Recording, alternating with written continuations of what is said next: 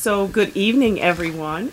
I'm Dr. Kane, Superintendent of Schools, and so glad to have all of you here with us today as we proceed with the oath of office for our new school board members. It's such a critically important role uh, that our board members take on in order to ensure that they govern our school district appropriately and ensure the best opportunities for our students as well as for our employees and our school community in general. So we welcome them. We're going to go ahead and get started right away, and we're going to turn over this program right now to Ms. Catherine Hager, who is the Queen Anne's County Deputy Clerk of Court. So we'll go ahead with you, Ms. Hager. Thank you, Dr. Kane. Um, my name is Catherine Hager, and I'm now the Clerk of Court for Queen Anne's County. Um, thank you, thank you. so, welcome, board members. Michelle, if you could come down, please, we'll administer your oath first. Sure. Let me just hold it for one second. And you want to come over here with me next to me? Okay, Michelle, I'm going to read your oath, um, your commission to you first before we do the oath.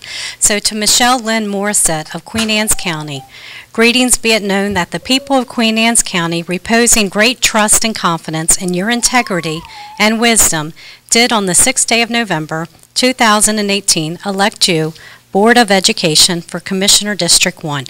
You are therefore to execute the said office justly, honestly, diligently, and faithfully, according to law, and hold the same for a term of four years, beginning on December 3rd, 2018, or until you shall be duly discharged therefrom. Given under my hand and the Great Seal of Maryland, Lawrence J. Hogan, Jr., Governor of the State of Maryland, on the 27th day of November in the year of our Lord 2018.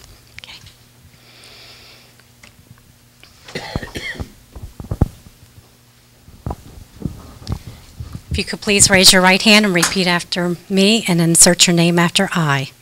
I I, Michelle Morissette, do swear do swear that I will support the Constitution support the Constitution of the United States of the United States and that I will be faithful and that I will be faithful and bear true allegiance bear true allegiance to the state of Maryland to the state of Maryland and support the Constitution and the Constitution and the laws thereof, and the laws thereof, and that I will, and that I will, to the best of my skill and judgment, to the best of my skill and judgment, diligently and faithfully, without partiality or prejudice, execute the office of member of Queen Anne's County Board of Education according to the Constitution and laws of this state. of this state. Congratulations.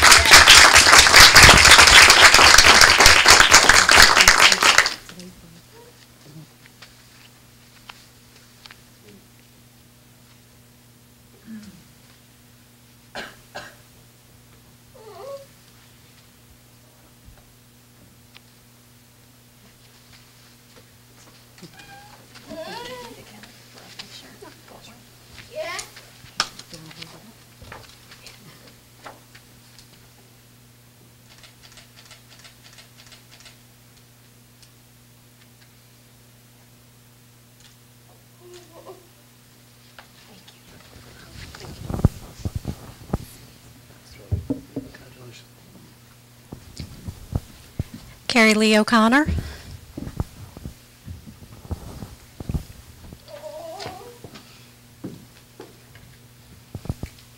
Carrie, I'm going to read your commission.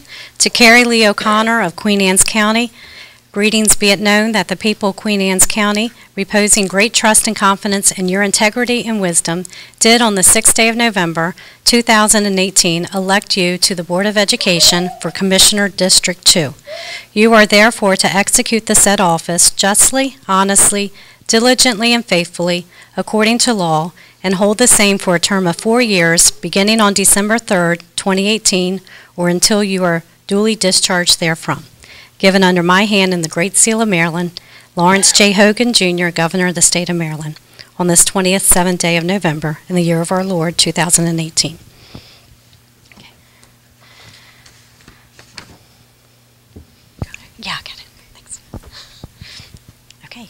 Can you raise your right hand and repeat after, repeat your, after me and insert your name after I. I I, Carrie Lee O'Connor, do swear do swear that I will support the Constitution that I will support the Constitution of the United States the United States, and that I will be faithful and that I will be faithful and bear true allegiance bear true allegiance to the state of to Maryland the state of Maryland, and support the Constitution and the Constitution and laws thereof, and laws thereof, and that I will, and that I will, to the best of my skill and judgment, to the best of my skill and judgment, diligently and faithfully, diligently and faithfully, without partiality or prejudice, without partiality or prejudice, execute the office execute the office of member of the Queen Anne's County Board of Education of member of the Queen Anne's County Board of Education, according to the Constitution according to the Constitution and laws of this state. and laws of the state. Okay, congratulations.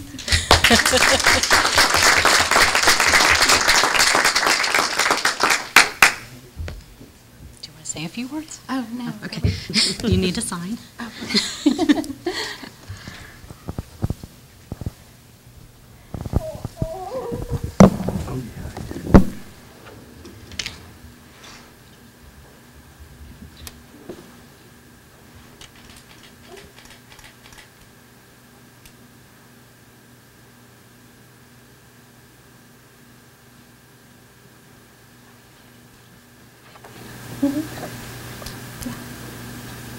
um, just had my girls take a quick photo with me? They're every bit a part of this journey. And they're glad to stop eating hamburger helper after the campaign. Thank you.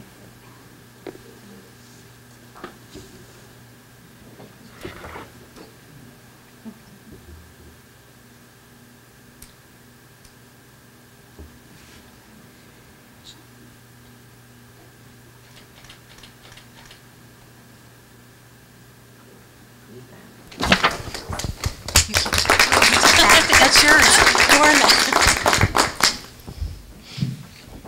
Tammy Harper.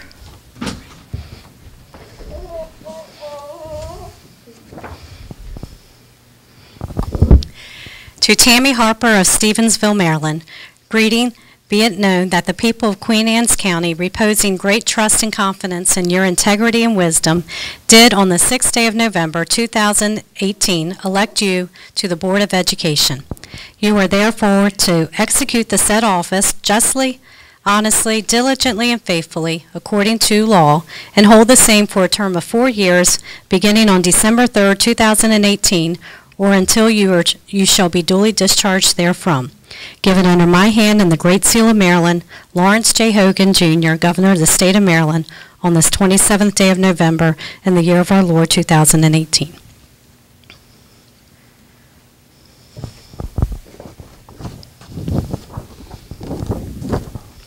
Could please raise your right hand, and insert your name after I. I I, Tamara Lehman Harper, do swear do swear that I will support the Constitution of the United States that I will support the Constitution of the United States and that I will be faithful and that I will be faithful and bear true allegiance and bear true allegiance to the state of Maryland to the state of Maryland and support the Constitution and support, support the Constitution and laws thereof, and laws thereof, and that I will, and that I will, to the best of my skill and judgment, to the best of my skill and judgment, diligently and faithfully, diligently and faithfully, without partiality or prejudice, without partiality or prejudice, execute the office execute the office of member of the Queen Anne's County Board of Education. as member of the Queen Anne's County Board of Education. According to the Constitution according to the Constitution. and laws of this state. and the laws of this great state. Congratulations.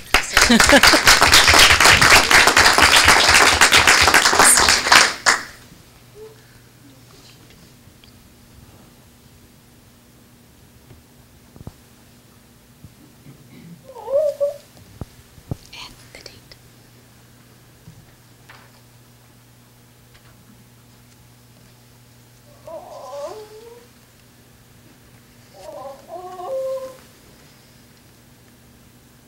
Today's the fifth, right? Oh, it is? Yes. I'm just going to correct it on all this. Well, you can do it, you're the clerk. There you go. Thank you. Thank Would you you. like to say anything? No. Okay.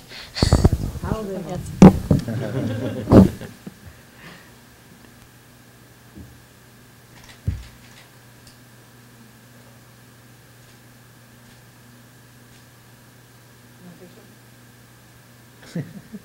want to come up with a picture of me?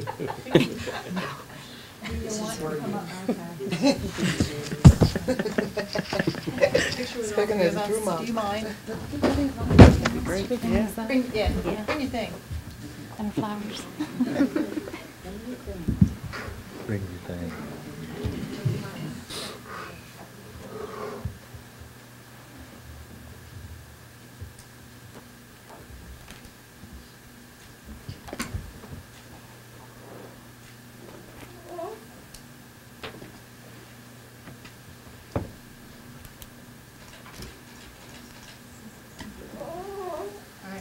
Right, gentlemen. Say hi to everybody. Yeah. From Nashville. That's my youngest. She's in Nashville. Smiling at- Yeah. Yeah. All right.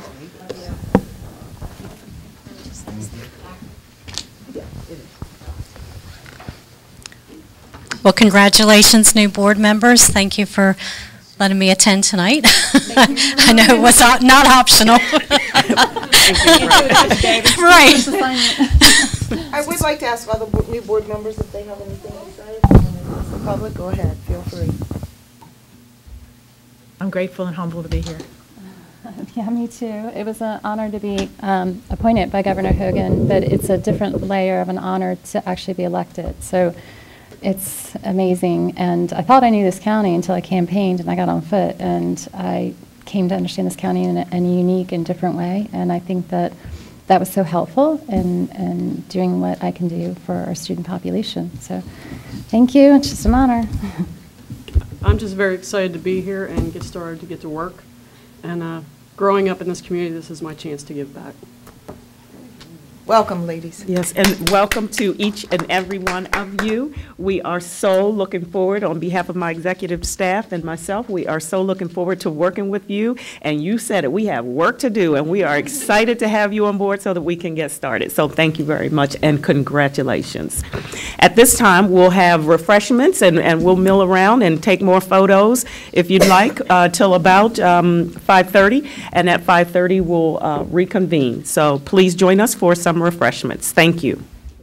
Welcome to the Queen Anne's County Board of Education meeting pursuant to the General Provision Article 3-305 and 3-104. I move we go into closed session to discuss and consider matters that relate to negotiations, to discuss the appointment, employment, assignment, promotion, discipline, demotion, compensation, removal, resignation, or performance evaluation of appointees, employees, or officials over whom this public body has jurisdiction, and also to consult with counsel.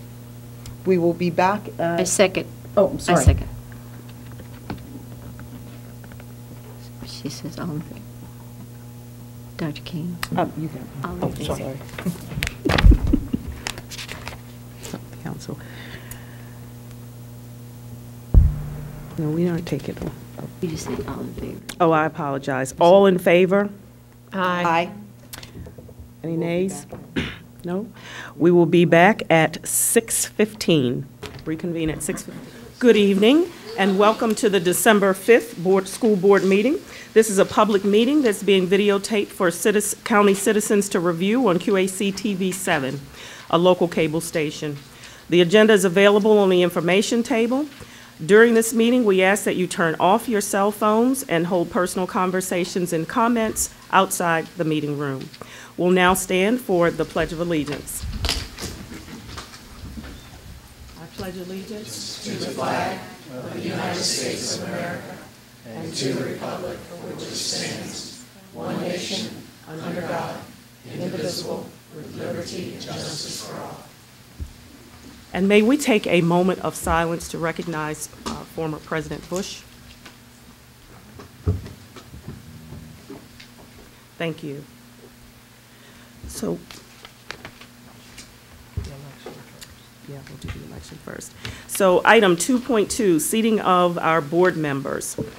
On November 6th, Ms. Carrie O'Connor, Ms. Tamara Harper, and Ms. Michelle Morissette were elected to serve as members of the Queen Anne's County Board of Education.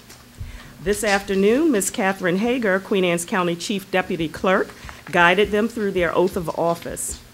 Board members, you have taken your oath of office set forth by the Queen Anne's County Deputy Clerk of Court. You are now hereby seated as members of the Queen Anne's County Board of Education to serve a four-year term ending in November 2022. We are so happy to have you on board. We welcome you and we congratulate you, and we are looking forward to working closely with you. So congratulations. Welcome, ladies.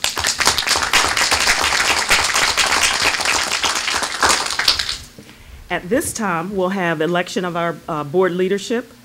According to Section 4-102 of the Education article, at our first meeting in December, we must elect board leadership.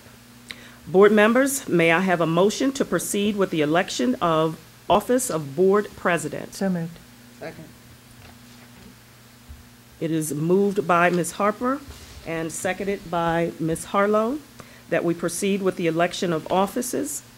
Board members, please respond when Ms. Wright calls your name. Ms. Harlow, Yes? Ms. Harper, Yes. Captain Kelly, Aye, yes. Ms. Morissette, Yes. Ms. O'Connor. Yes. Thank you. At this time, are there any nominations for the office of board president? I nominate Captain Beverly Kelly for the President of the Board of Education for Queen Anne's County. Who will sec- second the nomination? I'll second. Are there other, Um, I can nominate. I was going to ask if there were other nominations for the office of board president? I nominate Sharon Harlow for the office of president. Is there a second?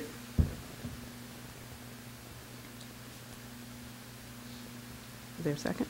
Okay. Nominations for, the nomination for board president has been moved and seconded Ms., uh, for Bev Kelly. Since there is only one, and because there is only one, we are going to do a um, paper ballot. So we'll elect our board president by paper ballot this evening. Each of our board members has a ballot, and on that ballot for board president, you will make your vote.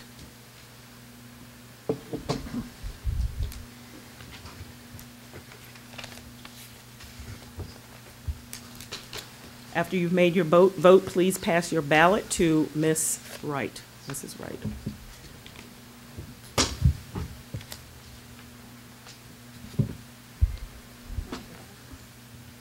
I'll. You should have all five.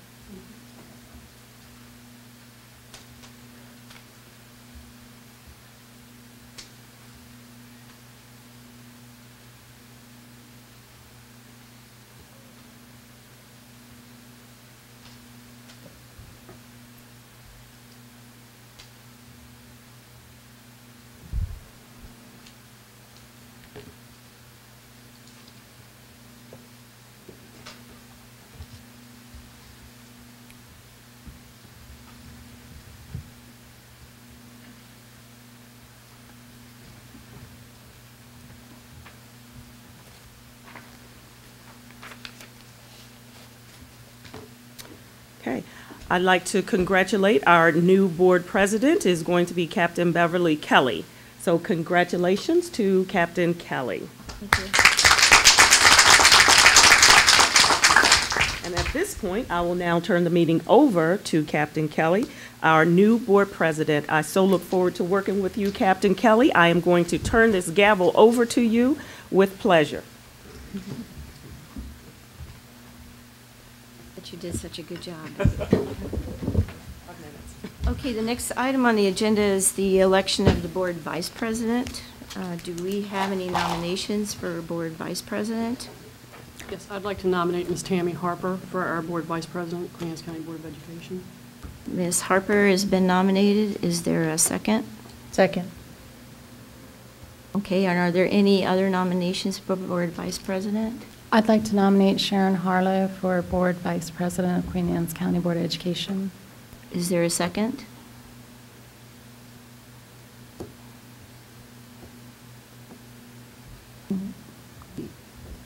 Yes?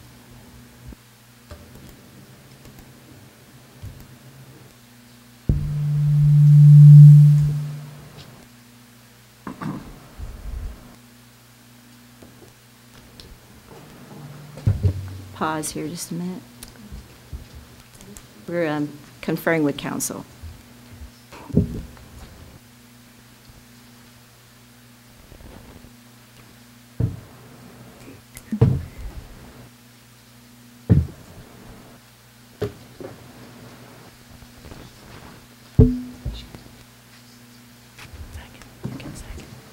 Second. Okay, any other nominations? Okay, we have two nominations for Board Vice President, Ms. Harper and Ms. Harlow. You all have a sheet there to do um, secret ballot. Please fill out your ballot and turn them over to Ms. Wright. Um, Ms. Harlow.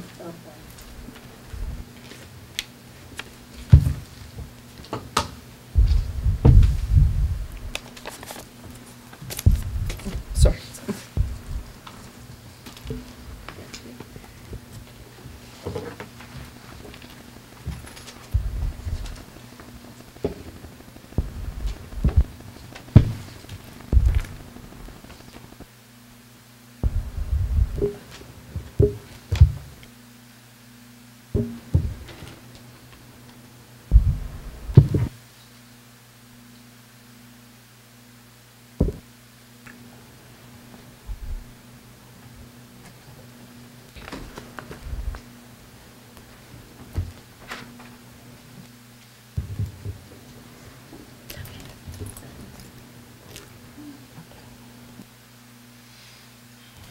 So I'm uh, pleased to announce the Vice President has been selected, Ms. Tammy Harper.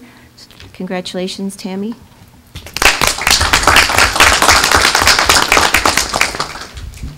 Next item on our um, agenda is uh, response by board leadership, and um, I have one item I wanted to mention. I very much appreciate getting elected um, board president. I've been wanting to do this for a while, um, with seven and a half years on the board. I'm very excited to do this. I promise you all, I have four primary goals that I thought about if I was elected, and the first one is positive. I'd like to make everybody here on the board and in the public feel um, like um, the experience we've had on the board and our meetings on the board are enjoyable, effective, and successful. And um, I'd like to have some camaraderie and feel good about our work and our accomplishments of what we do for the students and the citizens of Queen Anne's County. I'd really like us, number two, to be professional. Professionalism shows the public that we are prepared, we know what we're doing, um, we can make decisions on issues and challenges facing us. Professional meetings give the public confidence, I think, in our abilities to make the best possible decisions in a collaborative effort, in a collaborative manner. Third thing, there's only four, is teamwork. Um, to me, that's the most effective way to operate. Um, all five board members should be able to express their views with confidence that their thoughts and reasons will be heard and considered in the final decision. In my experience in leadership positions in the military, I always appreciate clear, strong counterpoints to my views. Um, these are essential to our success in making the best overall decisions for our students and the community. Um, I never liked it when everybody always agreed with me. Uh, it's smart that we listen to opposite opinions. And finally, I would like us to move forward, not dwell on the past. I'm done with the past. We have a lot of work to do, and I really look forward to us getting on with it. So thank you very much, board members. Thank you. Thank Thanks, you. Bev. Um, We have down response by, um, I'm sorry, um, ap- okay, approval agenda. I make a motion that we amend the agenda to move item 10.01 to 9.03, policy development number 110, to current action items in order to put this policy out to read on the website for its second read. Second. We have a motion and a second to make that agenda change. Um, Do we have any discussion? I just want to say that um, we've been working very hard on our policy improvement, and I'm glad to see us making some progress. And this will be the first policy under our new process that does make it to our website for community comment. We welcome your input. And I'd like to say thank you to um, um, both Ms. O'Connor and uh, Ms. Ms. Harlow to working so hard on this policy issue. Um, And we will work on that with the, in the, when it comes up in the agenda, we'll go through it. Um, So we have a, a fir- um, motion and a second is uh, Ms. Ms. Wright will call the roll. Sorry. For the, am- uh, can I have a clarification? We are voting on the amendment. On We're voting on the amendment to the Just to move it to current items. Thank you. Board members, please respond when I call your name. Ms. Harlow? Yes? Ms. Harper? Yes. Ms. Kelly? Yes? Ms. Morissette? Yes. Ms. O'Connor? Yes. Thank you. Okay, the amen- uh, amendment passes, and do we have any more amendments? Actually, we do. I'm also going to ask to amend the agenda to move our student board members' reports um, up to community involvement, not sure of the number, hold on. Um, to 4.00. 4.01, moving, up, um, 4.04 to 4.04 to 4.00. 4.00, to move our student board members' um, reports forward a little bit in the agenda for time constraints. So moved. So we, is there a second? Second? So we have a motion and a second to move the student board member reports, item 4.04, up to item 4.00, just uh, right under, still under community involvement. Is there any discussion on the amendment? Ms. Wright will call the roll. Board members, please respond when I call your name. Ms. Harlow? Yes? Ms. Harper? Yes. Ms. Kelly? Yes? Ms. Morissette? Yes. Ms. O'Connor? Yes. Thank you.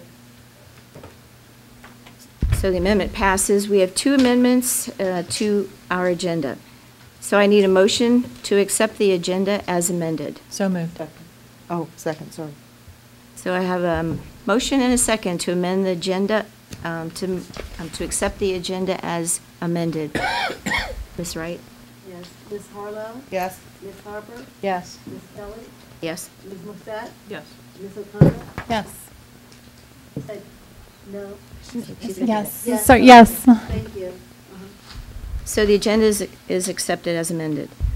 Next thing on the last housekeeping, folks, um, is the approval of the minutes. I need, an I need a motion to approve the open and close amendments for November 7th and Minutes, November 19th. minutes. I'm sorry, did I, what did I say? Min- Minutes, I'm sorry, for uh, November 7 and November 19. So So moved. moved. A second on it. Okay, I have a motion and a second for the approval of the minutes open and closed for November 7th and November 19th. All in favor, Ms. Wright will. members, please respond when I call your name. Ms. Harlow? Yes? Ms. Harper? Sustain. Ms. Kelly? Yes? Ms. Morissette? Ms. O'Connor? Yes. Thank you. So the minutes are approved. Now we have a recognitions. Dr. Kane. Yes, we do. We have three recognitions tonight, our Spirit Award, our Energizer Bunny, and our Shining Star. So if board members would join me down front.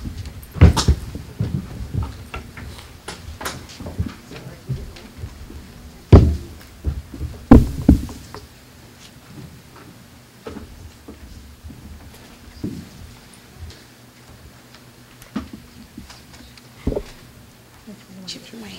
Jim and Wayne are not here. No, they couldn't come. Okay. I have a story behind that, but I'll tell you later. Okay, all right. So good evening once again. We'll start with our Spirit Award. The Spirit Award recognizes an employee who is enthusiastic about his or her job and our school system. And tonight's recipient is Miss Laura Schroyer, Behavior Specialist at Graysonville Elementary. Miss Schroyer, come forward, please.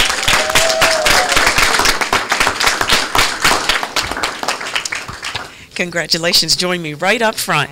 Miss Tiara Rhodes, teacher specialist at Graysonville Elementary School, nominated Miss Schroyer, and here is what she had to say about you. When I think of someone who shows passion every day about his or her job, Mrs. Schroyer comes to mind. Mrs. Schroyer's daily routines and duties start on the foundation of building relationships with others. She makes time to foster so many positive relationships with some of our most challenging students. Ms. Schroyer not only meets with each of these identified students for various activities throughout the day, such as breakfast buddies, lunch buddies, morning meetings, and cool down times, but she makes herself available to every teacher in the building as well. She is always ready and willing to lend a helping hand and goes the extra mile with all she encounters. Ms. Schroyer's attitude is always a positive one, even in some of the toughest situations, and I have been there with some tough situations. And uh, she is just an outstanding individual. Her optimistic mindset is infectious and shines as she co-chairs the PBIS events and incentives. Mrs. Schroyer starts the year with the new and exciting activities for our students and continues to gather feedback for improvement.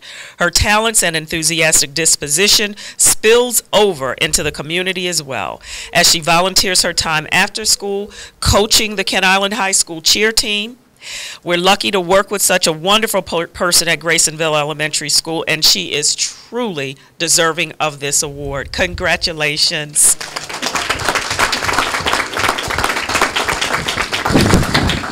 So we have an, uh, a certificate for you, and tell us who you have with us, with you today. I have my husband, Chad. Come on down, Chad.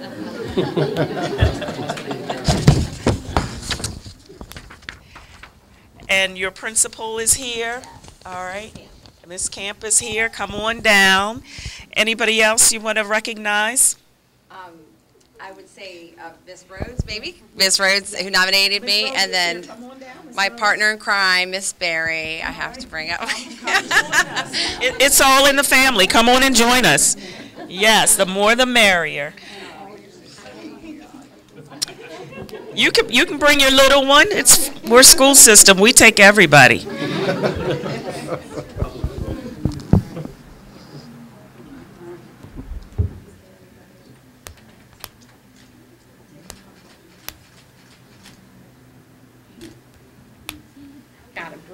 congratulations. Thank you much.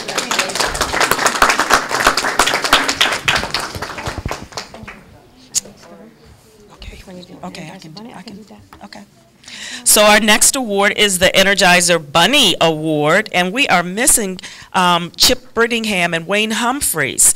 But um, they couldn't be here tonight, but we're going to do a good job in representing them. So the Energizer Bunny Award is given to a staff member or volunteer who rises to the occasion and just keeps on going and going and going. And again, this award is sponsored by Bayview Financial through Chip Brittingham, Wayne Humphreys, and Mark Humphreys. The recipient of this month's Energizer Bunny Award goes to Mrs. Shannon Berry, guidance counselor at Grasonville Elementary. Very good. And again, Mrs. Tierra Rhodes, teacher specialist at Grasonville Elementary, nominated you, Miss Barry, for this award, and this is what she had to say about you. Mrs. Barry is the true definition of what it means to energize. Not only is she a working mom of three little ones, and we see all three of them here today, but she also serves as a stand-in mom for students at Grasonville Elementary School whenever the situation calls for it. Mrs. Berry is someone you always see on the go. She leads and plans the Student of the Month assemblies, co-chairs the PBIS team, and still finds time to go to every classroom at least twice a month for various lessons. Mrs. Berry not only leads, but she also helps develop leaders in uh, the students and the community. She facilitates the student government and student-led morning announcements through hands-on coaching and gives incredible feedback. She also reaches out to the community to provide our students with equitable representation of character counts coaches, school volunteers, and career day presenters, just to name a few. Mrs. Berry also gives her time to any student or teacher in need of guidance, encouragement, motivation, or cheering up. And she does all this with an upbeat attitude and a smile on her face, just as she has right now. We're fortunate to have Mrs. Berry at Grasonville Elementary School. Congratulations to you.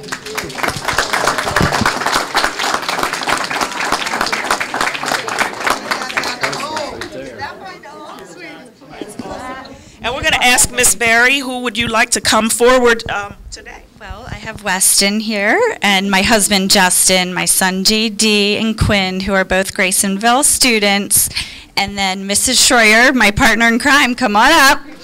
Mrs. Camp and Mrs. Rhodes. Thank you, Mrs. Rhodes. I appreciate it.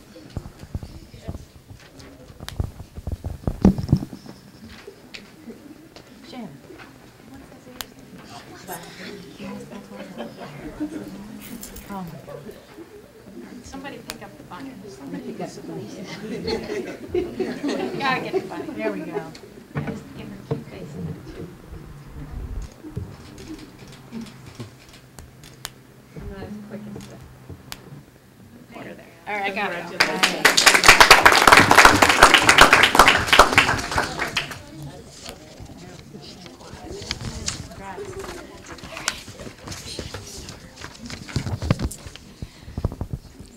And last but certainly not least, our last award tonight, Shining Star Award. The Shining Star Award recognizes a Queen Anne's County Public School support person who shines in their duties while on the job. Tonight's recipient of the Shining Star Award is Mrs. Pamela Donahue, paraprofessional in the Special Education Department. The special education team at Grasonville Elementary nominated Mrs. Donahue. Mrs. Donahue goes above and beyond for the special education department staff as well as the students entrusted in her care. Patient, flexible, and dedicated are just a few words used to describe Mrs. Donahue. She is also smart, attentive, and caring when working with various learners, levels of learners within the classroom setting. She is able to quickly problem solve without asking for advice. Mrs. Donahue is always willing to lend a helping hand to the students and teachers and gives naturally of herself and her talents. She's loved by her students and staff at Grasonville Elementary and radiates positive energy.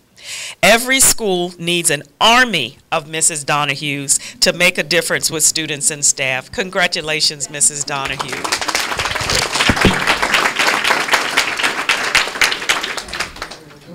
And who do you have with you tonight that you'd like to have come down? I have my husband Patrick, Patrick, come on down. James, my daughter Stephanie, and really, all the employees at Grasonville Elementary School are my family as well. And you, and you had a fan club uh, back there, so they can come on down and join us in the picture. Come on down. We'd love to have you. Please, don't be bashful. Come on down. I'll do your family real quick. Tiara, I'll just, I'll get you guys. And then we'll get everything. Okay. Excellent. Yep, just jump right in.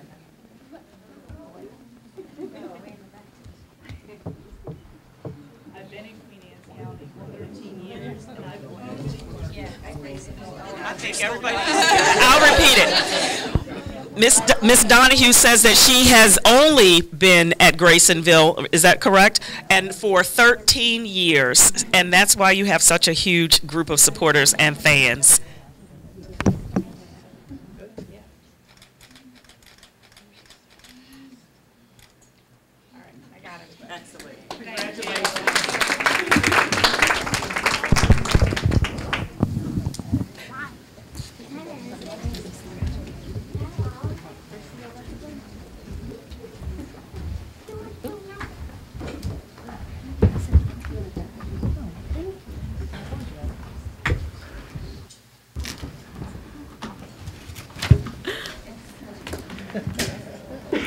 Congratulations to all the winners, and um, basically, you've earned it all. Um, And, yeah, please feel free to go if you have a family and you need to go. Uh, The next item on the agenda is our community involvement. Uh, The first one is 4.00, is Student Board Member Reports, and we'll start with Kent Island. Hi everyone, my name is Marissa Teddy. I represent Kent Island High School. Mrs. Mammus's marketing class collected 5,580 cans in two weeks, which is amazing because their goal was only 3,500. And so this 5,580 cans collected 6,214 meals for people in the state of Maryland. So the cans were donated to Maryland Food Bank, Feed a Family, and local food pantries. Um, National Honor Society, um, they collected cans and boxes for 14 families in the county for Thanksgiving, so that was amazing as well. Um, on December 6th, Salisbury University will come on campus to deliver admissions acceptances. Students are admitted that day, so they'll find out if they got in. Um, in November, Kent Island High School hosted a successful coat drive to be donated to Haven Ministries, so the coats will be counted tomorrow and sorted. Um, The dance class will have their showcase on December 12th at 7 p.m. The French National Honor Society induction will be December 13th at 6:30 p.m. The winter band concert will be December 19th at 7 p.m. Quarter two interms are sent out on December 19th. On December 21st, Kent Island High School hosts their Student of the Month celebration. And right after break, PARCC testing begins. Thus far, approximately 500 transcripts have been requested to the guidance office, which is equivalent to 500 applications that seniors have sent out to colleges. So congratulations to everyone. Um, I'm Ariel Miles. I represent Queen Anne's County High School. Um, so before Thanksgiving break, some of you may have heard Chris Herren came and spoke to our school about um, drug abuse um, and addiction, and I take every chance I can to brag about my school. He said that we were by far the quietest gym that he has ever spoken to all the years that he's been speaking. So it was pretty cool. Um, winter sports are underway. Um, our first indoor track meet is Saturday. Basketball has their first game Thursday against Stephen Decatur, so that's pretty cool. Um, the annual Christmas parade will be on Friday, and you can see all of us on our float if you attend. Um, John Hopkins Children's Center Toy Drive is happening right now through December 13th. You can donate gifts and money to Centreville Elementary School, Kennard Elementary School, Queen Anne's County High School, and the Kent Island Elks. Thank you. Thank you. Thank you, high schoolers. They, um, I now have a high schooler, and I know you have homework, so whenever you feel like you need to, to go, please, please don't hesitate. That is obviously more important to us. Okay. Um, Next thing is uh, school board involvement for the new members. Um, we start. We had this for a while. We we laid off of it. Now we're reinstating it. Where if we have multiple things that we have to do, multiple events to go to. Um, it gets real hectic around Christmas time. So we we really would appreciate you all attempting to go to um, some of them. You don't have to go to all of them. It's just a lot of work to, to get to every event but superintendent will, is going to be keeping us informed of events coming up. And this is the point where you can share with the community what you've done um, in the last month. Sometimes you may do nothing because your personal schedule is crazy. We're okay with that. Um, but other times, I think it's important for the community to realize all the work that a, a board member does do. So we thought it was important to um, to reinstate this on the agenda. So I'm not pressuring you to, to say anything this time. I caught it on the uh, on the agenda um, that when I was reading ahead and realized that we're reinstating it. So if you did have something you wanted, the ones that have been around for a while had something they'd like to add in, please don't hesitate, and please don't feel bad if you have nothing to say because sometimes that just happens. And um, holidays come up, and so I just I just wanted to tell you we wanted to reinstate that, and that's for the benefit of the public in particular to know what you've been doing. So I will start out because I, I do attend the legislative meetings with um, Maryland Association of Boards of Ed, and I try to brief you all um, when we have significant things occurring. Um, the, uh, the assembly will, General Assembly goes into session January 9th. So the last meeting I did with MABE, I'll keep it as brief as I can, we voted on the the items that we think are important that we're positions that we're taking ahead of the General Assembly. Um, there's only four of them, four key ones. There's a lot of, of legislation that is going to be enacted under each one of these, but the overall look, what MABE is trying to endorse is the first one would be, well, the first thing we're very happy that question one on the Education Trust Fund did pass um, during the vote in November and that um, we should see, hopefully, eventually see some additional state funding going to the schools as a result of that vote. Um, uh, we uh, the the one of the, legis- the first legislative position that we took overall is to su- support continued governance autonomy for the boards of ed. That's always important to us that we have the ability to, to run our own our own boards, and that's important to us. We don't it's, it's not good to have the state run our boards or the General Assembly run our boards because they, every board is unique in its own, in its own um, makeup, its own school system. They're unique in like we're we're half rural and half you know Kent Island or you know more uh, suburbs. So we have lots of um, different types of boards. So there we don't every one size doesn't fit all when it comes to boards. So MABE always pushes to be sure that we still have our autonomy when we're when we're setting our education policy and we're setting our our, our school budgets. Um, we do oppose unfunded mandates. That's a big one. For we have to be careful. We're always pushing the, the assembly not to make mandates for us that they don't send the dollars with it because it just drives us crazy, and it it drives the commissioners crazy also. Um, they're pushing the um, legislative position we voted for is to support full funding for public schools. Um, we're asking for a passage of uh, the Kirwan legislation to update and enhance constitutional adequacy and equity of the state and local funding. And top priority is establishing a per pupil funding allocation for pre kindergarten students. The third uh, key legislative position we voted on is to support robust state funding for school construction and renovation projects. And the fourth one that we're um, pushing for this year is support for sustained local government investments in education. In other words, the co- county commissioners and the county councils of the different counties to um, help us with local government investment. Specifically, we're seeking to update state law to ensure that the local funding increases above maintenance of effort to include the local share for students in four categories in particular. Funding of pre-kindergarten, we've been pushing that for a while, special education, economically disadvantaged students, and English learners.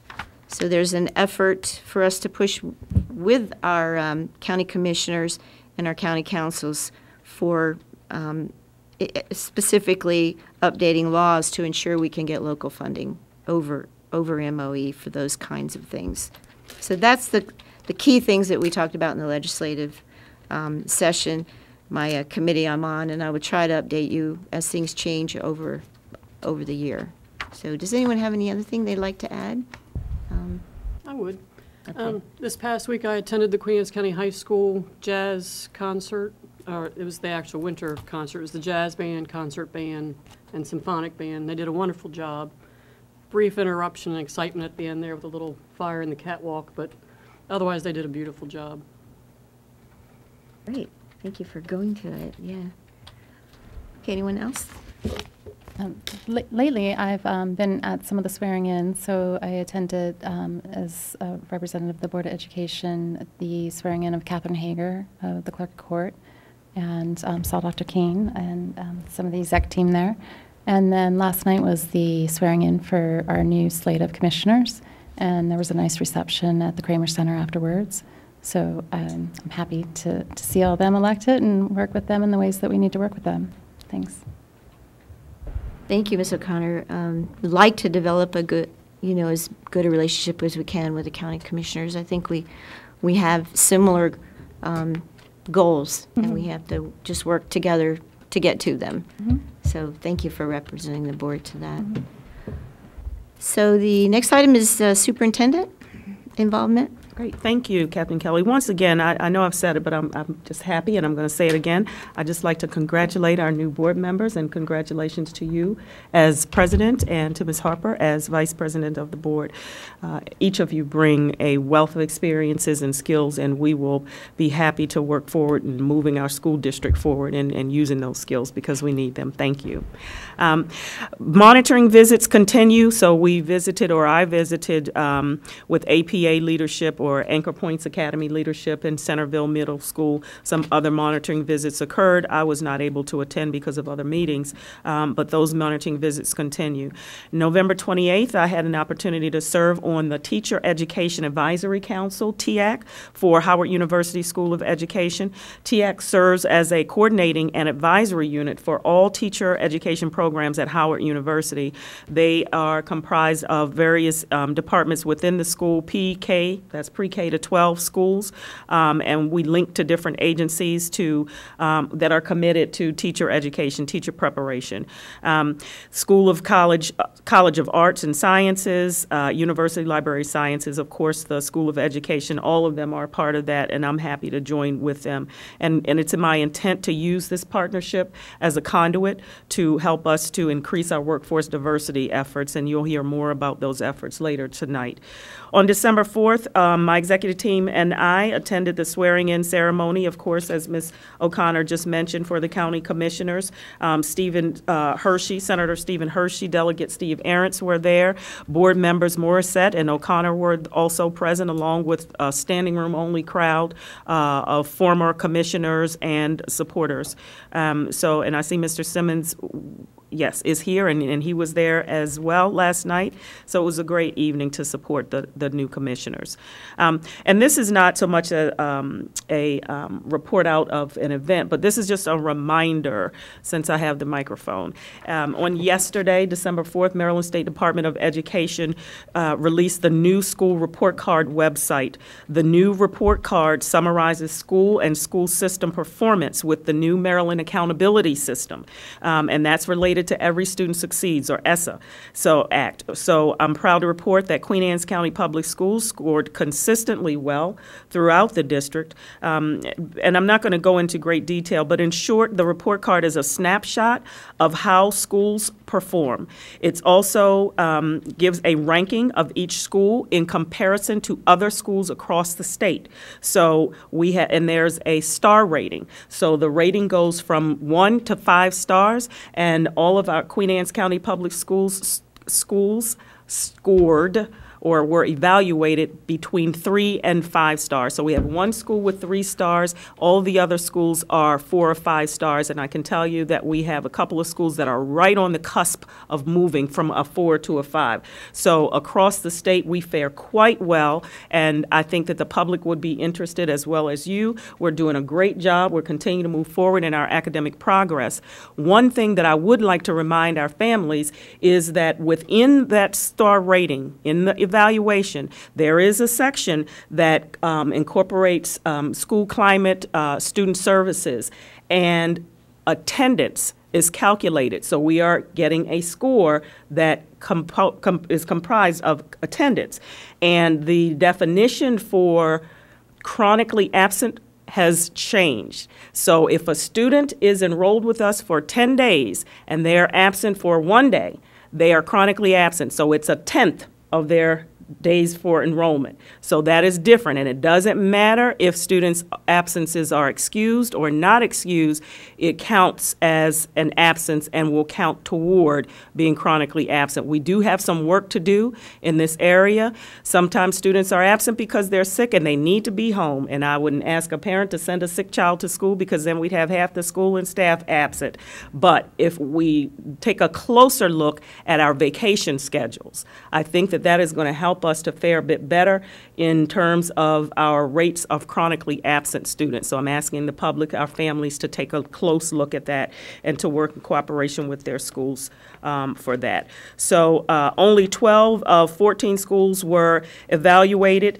Need to let everybody know two of our schools were not evaluated, and that is Kent Island Elementary School and Centreville Elementary School because they did not have enough points to be part of this accountability system. They don't have fifth grade. All of our schools, elementary schools, don't, but the ones who don't, Churchill Elementary School had enough points to where they could still be a part of the accountability system. So, but I want to say everything looks good. Those two schools, those primary schools, won't be a part of the accountability system, so you will not see a star rating for those. Dr. Kane, if I can interrupt you, what are, what are the, how are the points awarded? How does the school earn points? There are about five different categories, and I can read those off to you. I, I don't want to take a whole lot of time for that, and I think I brought all of my documents in here and I didn't. But there's academic progress. There's um, this climate, school climate, and um, student services. There's um, there's there are about five different ones, and I can't rattle them off off of the top of my head. I thought I had brought my documents. I have it right here. Well, actually, I do have them. Academic achievement, graduation rate, progress in achieving English language language proficiency, readiness for post-secondary success, and school quality and student success. Uh, What were the two schools that didn't have enough points? K, the K to two. The, the pre-K to two schools. So Centreville Elementary School and Kent Island Elementary School. All of those five indicators are the same for each level. However, they com- they're comprised of different components. So there's one thing for elementary, there's another for middle, and then there's another for high school. So all of that information um, is available on our website, and information sent out to parents on yesterday, and a press release went out on yesterday. So I just want everybody, it's a pretty big deal, um, and it's new, so I want everybody to be aware of it. And if you haven't gotten the letter, please go to our website and call your school, because your school does have information. I believe all of them got sent out on yesterday. So that was just one important thing that I wanted to make sure that everybody was aware of. Um, and definitely just please check the school websites for, this is winter concert time, please check the website for winter concerts because those are going on right now. And that's all I have for uh, this month, but I, I thank you, Captain Kelly, for inviting our board members to be a part of this time when we report out what we're going to do or what we've already done in terms of community involvement. So thank you. Um, now, involvement by our deputy superintendent, Mr. Paluski. Thank you, Madam President. Likewise, the superintendent, we'd like to welcome all of our new board members, and we look forward to working with you. Uh, Briefly, on uh, November the 8th, I had an opportunity to be part of a state work group on the new, potentially new teacher and principal evaluation. So they're collecting feedback from local jurisdictions as they think about making changes to that. Uh, Likewise, ongoing with the superintendent and Ms. Pauls uh, attending our monitoring visits, and we'll be providing, Ms. Pauls and I will be providing an update to you uh, in January with a full report. Uh, on November the 13th, I had an opportunity to represent Dr. Kane to introduce uh, Mr. Chris Herren at the Assembly uh, at, Queen, at uh, Kent Island High School, as well as uh, attend that evening or the other evening uh, the simulcast that took place at Queens County High School. Uh, on November 26th, I had an opportunity to attend the Education as Multicultural Community Meeting. Uh, on November the 29th, I had a great opportunity. The Aspiring Leaders Academy, which is made up of uh, assistant principals that aspire to be principals, their meeting was held right here in the boardroom. And I had an opportunity to uh, do some mock interviews with some potential candidates um, from other counties as part of that. It was a great experience. Um, and likewise, attending with the superintendent as well as some board members uh, last night to welcome our new county commissioners. Thank you, Madam President. Thank you. Now is our opportunity for community participation. Ms. Harlow? Um, Yes, anyone who would like to speak, we will call you up if you've listed your name on our agen, on our um, information list. If not, we'll call for people who would like to join us at the end. We ask that all speakers keep in mind the following guidelines. Speakers should sign the roster, including their telephone number and address. Comments should be limited to three months, three minutes in length. However, we do allow elected officials and um, organizations five minutes. We ask that you keep comments to three minutes if you're an individual or community member.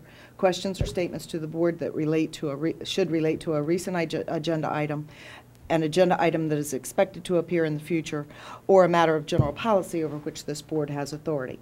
Please do not discuss items related to negotiations. Those items are to be discussed at the bargaining table. Please do not discuss, um, oh, I'm sorry, this is not the proper venue to address specific student or employee personnel matters, especially those matters on a legal appeal to the board. Comments about the actions or statements of individual staff members are not appropriate for public comment, should be referred to the superintendent of schools or processed through available channels. Citizen participation is not intended to be a question and answer session. If you have specific questions, the board will make sure an appropriate staff member responds to your questions at a later date. The board respects your desire and your right to convey your messages freely, but asks as a courtesy to this board and our citizens that you respect the board's request to refrain from naming citizens and name-calling when offering your critique. The first name we have registered is Mr. Warren Wright.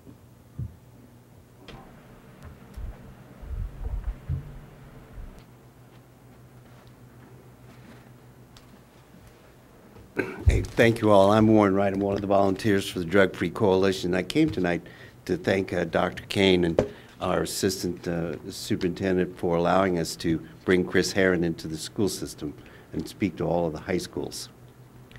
Uh, along the way, I um, can't have, I did need to mention that um, Brad and the um, um, from stu- uh, Student Services and Josh Combs, um, the principals at both schools, and uh, particularly Assistant Principal Dan Harding at uh, Kent Island High School. Really helpful. Um, Next week, we start, we're going to do the post-survey, because as you know, along with QA Goes Purple, we um, are determining if, if the 10 things we want the community to learn, how well they learned them. Um, With that, then, uh, we're, by school preference, those two high schools will be choosing activities to do. I know they hit us up for some, for some iPads, so they're doing something. Um, Those things will continue, and then uh, we will work uh, towards next year, because as you know, it's a two-year program. All of this, by the way, I send out in emails, and I can certainly send a letter with the, uh, the 21 agencies that helped us with QA Goes Purple, and the many business people, uh, the churches. Uh, The sheriff uh, initiated the program along with the county commissioners. We could all have done that by letter, but I wanted, and as I usually do, I wanted to make a point of those people that really do the work once it's approved by the uh, superintendent. And I can't leave without mentioning Sid Pinder and his crew. Uh, I don't know some of the details, but I do know most of the details, and I know that you don't assemble every kid at each school just by saying there'll be an, there'll be an, there'll be a meeting today at eight o'clock in the auditorium. It doesn't work quite that way because, first of all, they can't all sit there because there isn't space. Uh, but before I talk about that, uh, we were going to do Chris Herren in November. But we found out that QA Goes Purple, which is a, something that's done all over the Eastern Shore now, they say you're, you got to light up your community in September, not at the end of November, Warren, which is when you had planned to do it.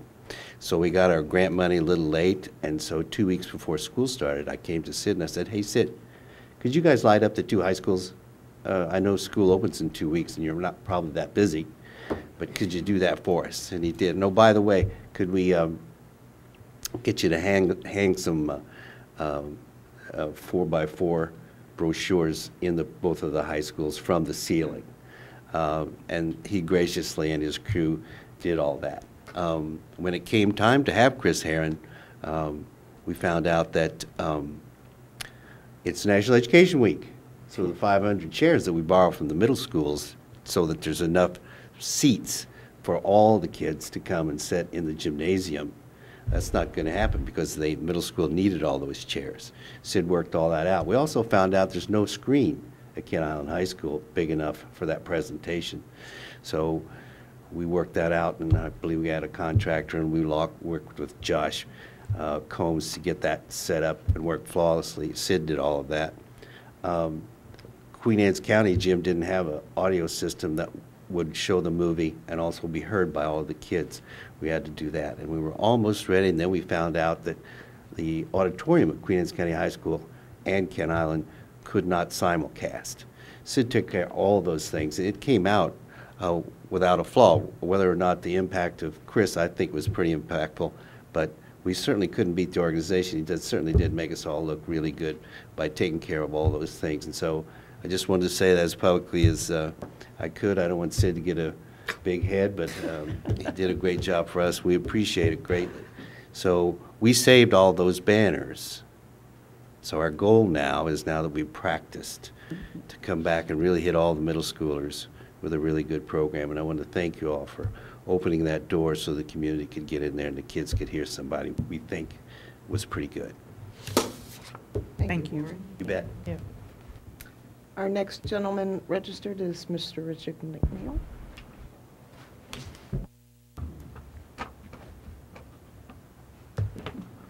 Good evening, Richard McNeil, and uh, representing the uh, retired school personnel. Uh, We changed our name as of this year, and and I'm still getting used to putting it in the right perspective, but we're doing that. On behalf of the retired school personnel, I'd like to welcome all the uh, new new board members and and uh, Carrie for coming back and and joining us, and and Sharon and everybody else, and uh, we look forward to your supporting your programs as much as you support us, and we appreciate that very much so. Um, like to just uh, highlight, I was at the uh, band concert at Queen Anne's High School, which I thought was excellent. Um, I want to commend the band director and the students for their behavior for the ending of the program, which was unscheduled, and, and of course, but uh, I thought uh, um, Eric Wright and the band members did an excellent job of handling the situation for what it was. So my stars go off to him in that situation. Uh, Also like to give uh, another thanks to uh, Teresa Steinheim in, in HR. Uh, She has been our liaison between the, those of us who are over 65 and the transition into the new health and prescription program. And uh, she has been very helpful um, and keeping us up to date on any additional information that we can share with our members. Uh, We have our meeting on Tuesday of this coming week, and um, I was just uh, talking with her on Monday as whether or not information, new information needs to be shared and so forth. Uh, We are anticipating our new cards at any time. Uh, They should be here within this week or next week and all that. And and again, as we hit January, uh, we still have some folks who are a little nervous about that, but anything new is coming, so we appreciate that. Uh, I also attended our, the um, MRSPA, the state group's uh, legislative update on November the 14th, and uh, some of the things that uh, Captain Kelly shared, they shared with us on uh, where we're going with the budget and the, and, uh, the pension program and the um, retirement program. There's still some folks out there who are in the old retirement system, less and less still in the workforce, but, and how that's going, and, and hopefully it's uh, active. The goal for us is 78% uh, return on the investments, and right now we're at 73%. So that's pretty good considering everything going, and uh, so um, we all hope that those pensions last forever. Um, one of the things, uh, I know it's, um, you know, the, the memorial service for our former president, we also, there was also a memorial service today for Pat Biddle, who was a member of this uh, organization for a number of years, um, and uh, principal at uh, Sudlersville Middle School, supervisor of math, I mean, not math, music, and uh, just a, just a good man for our system. Um, Retired in 1986 or 87, somewhere in there, passed away this past Friday uh, at the age of 94. So, I mean, it- he was a good man for, and did a lot for the community uh, because he sang in the community and he also did a lot of arts and crafts.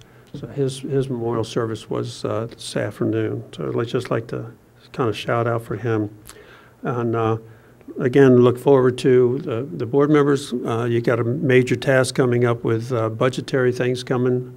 Um, It seems like that's a never-ending uh, process for the superintendent and her team, and uh, I've been on that end. Uh, I'm glad I'm not on that end anymore, so uh, thank you very much. Thank you. Our next registered guest is Mr. Kevin Kintop.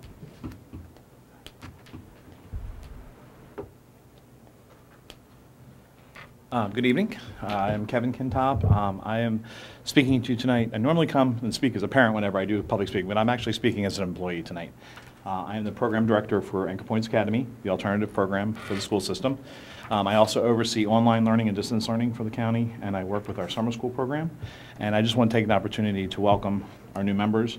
Um, Alternative education, online learning is an evolving piece of education nowadays, and it's going to become a much bigger part in what our school system does. So I'm looking forward to working with all of you. Um, welcome back to those of you that have, were here or were here before, and welcome for the first time. Um, I, anytime that I can be of service to share with you what's going on, I'd be more than happy to do that. And just wanted to say welcome. Thank you. Thank you, Mr. Kintop. Thank you. And our next guest is Ms. Karen Fields.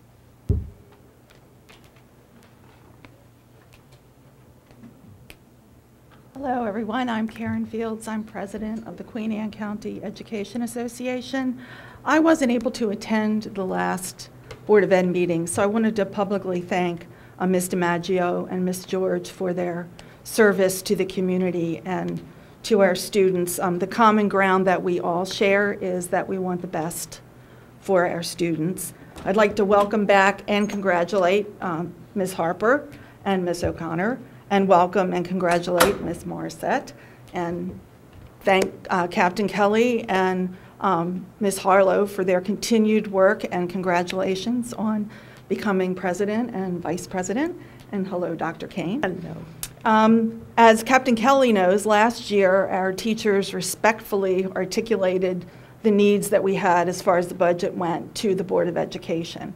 And I'm glad that you mentioned collaboration because collaboration is a big part of what the association does throughout the year with the Board of Ed and with administrators. For example, um, we revised the teacher observation form last year very successfully over a period of months with um, a team of teachers and a team of administrators. That went very smoothly. We worked with um, Mr. Kintop on testing issues that came up that were part of state legislation.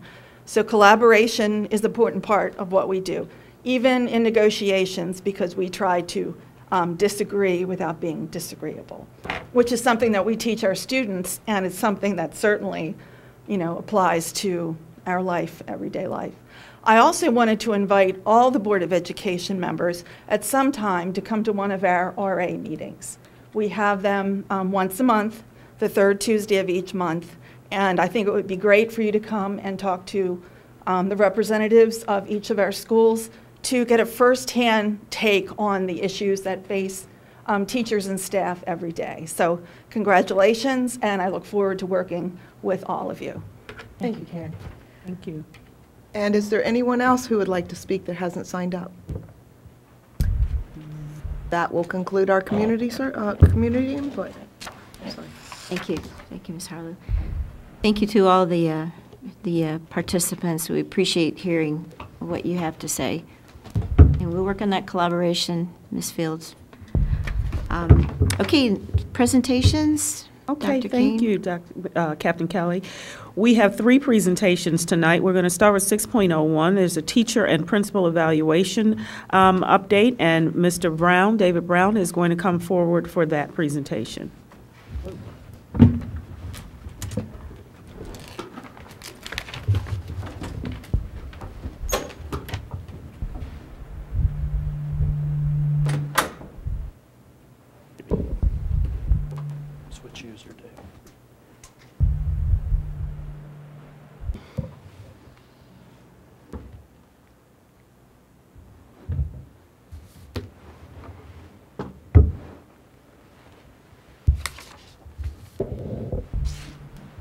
Good evening, Madam President, members of the board, Madam Superintendent, and members of the executive team. Uh, For the record, my name is David Brown. I am the Supervisor of Accountability for Queen Anne's County Public Schools. And tonight, I'd like to take a little bit of time to talk about uh, teacher and principal evaluations, uh, go over the parts of our comprehensive evaluation, and discuss uh, our data from our 17-18 school year.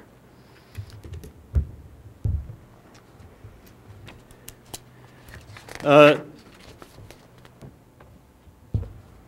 Teachers and principals both receive a comprehensive evaluation each year, and the comprehensive evaluation is based on equal parts of the, a professional practice piece and on student growth.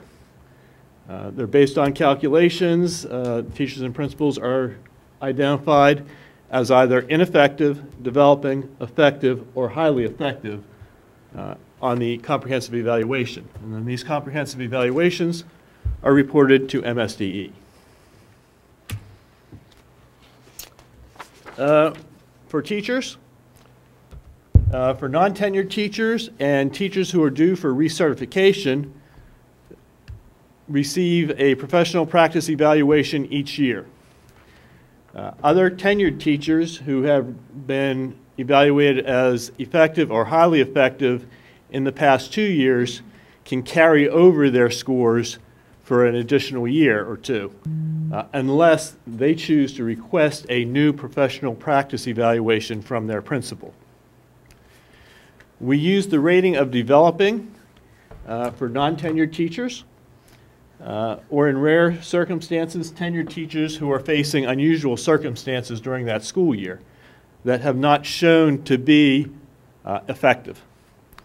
Uh, This rating was once unique to Queen Anne's County. It was not recognized by the state of Maryland, but this past year, the state of Maryland is now begun to recognize the, the rating of developing. For the professional practice uh, domains, we use the Danielson framework uh, for teaching. So we're actually looking at planning and preparation, instruction and assessment, classroom environment, and professional responsibilities.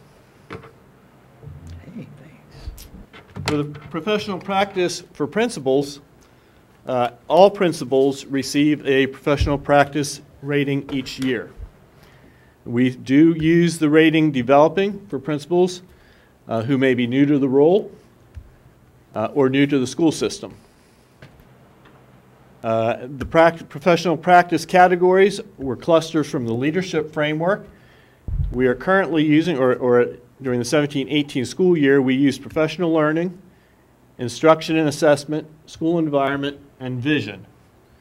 And they are not all rated equally. You can see that each of the top three on that table get 15% of the professional practice piece with the vision being worth 5%.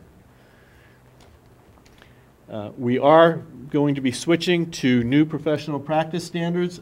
Uh, Mr. Paluski mentioned that the state is currently working on that. So for the, the, this current school year, there will be new professional practice uh, standards in place for principals. We also use student growth as part of the comprehensive evaluation. It is an equal part of the professional practice uh, to the professional practice piece. Each teacher develops two student learning objectives. Uh, these should be developed working with the building principal. Whenever possible, we encourage that the, the SLOs be on two different approved measures. And for high school teachers that teach HSA or tested contents, uh, they're required to have at least one of their SLOs linked to that classwork based on the, the assessment or performance, student performance. The student growth piece for principals consists of three student learning objectives, and they are developed working collaboratively with the, the program director of teacher and leadership development, as well as the deputy superintendent. Uh, principals are encouraged to make at least two of their SLOs on improving student group performance, uh, which we expect in turn will improve results on both district and state assessments kind of a graphic showing how the teacher evaluation is built. You know, the entire comprehensive evaluation, 50% of it is based on the professional practice piece, 50% of it is based on student growth. So we can look at that as each side of that being 12 points, and the, the four domains Danielson, uh, from the Danielson framework being each worth 12.5% or three of the 12 points uh, and each of the SLOs being worth six points each uh, creates the whole comprehensive evaluation. So in the end, we start looking at how many points makes a highly developed teacher. So when we calculate everything out, you know, if a teacher has more than 21 points, they are considered highly effective. We have a range from 13 to 21 that, that would be rated as a, an effective teacher. For a tenured teacher, uh, there is no developing uh, uh, unless they are, have special circumstances. So anything less than 13 points would make that teacher rated as ineffective. For a non-tenured teacher, we have a range of 10 points to 13 points that would make them developing. Anything less than 10 points, they would be considered ineffective. Mr. Brown, question on that. How, it's going to be complicated. How do you, is it the principal who would evaluate student growth, or is, how do you guys look at student growth? Student growth, they, the teachers actually create an SLO, a student learning objective, yeah. that can get a little bit complicated, but they're actually looking at a, a measurement of student grow, growing on an assessment or on, on some sort of a measurement that they set forth that usually runs most of the school year or at least a significant amount of time.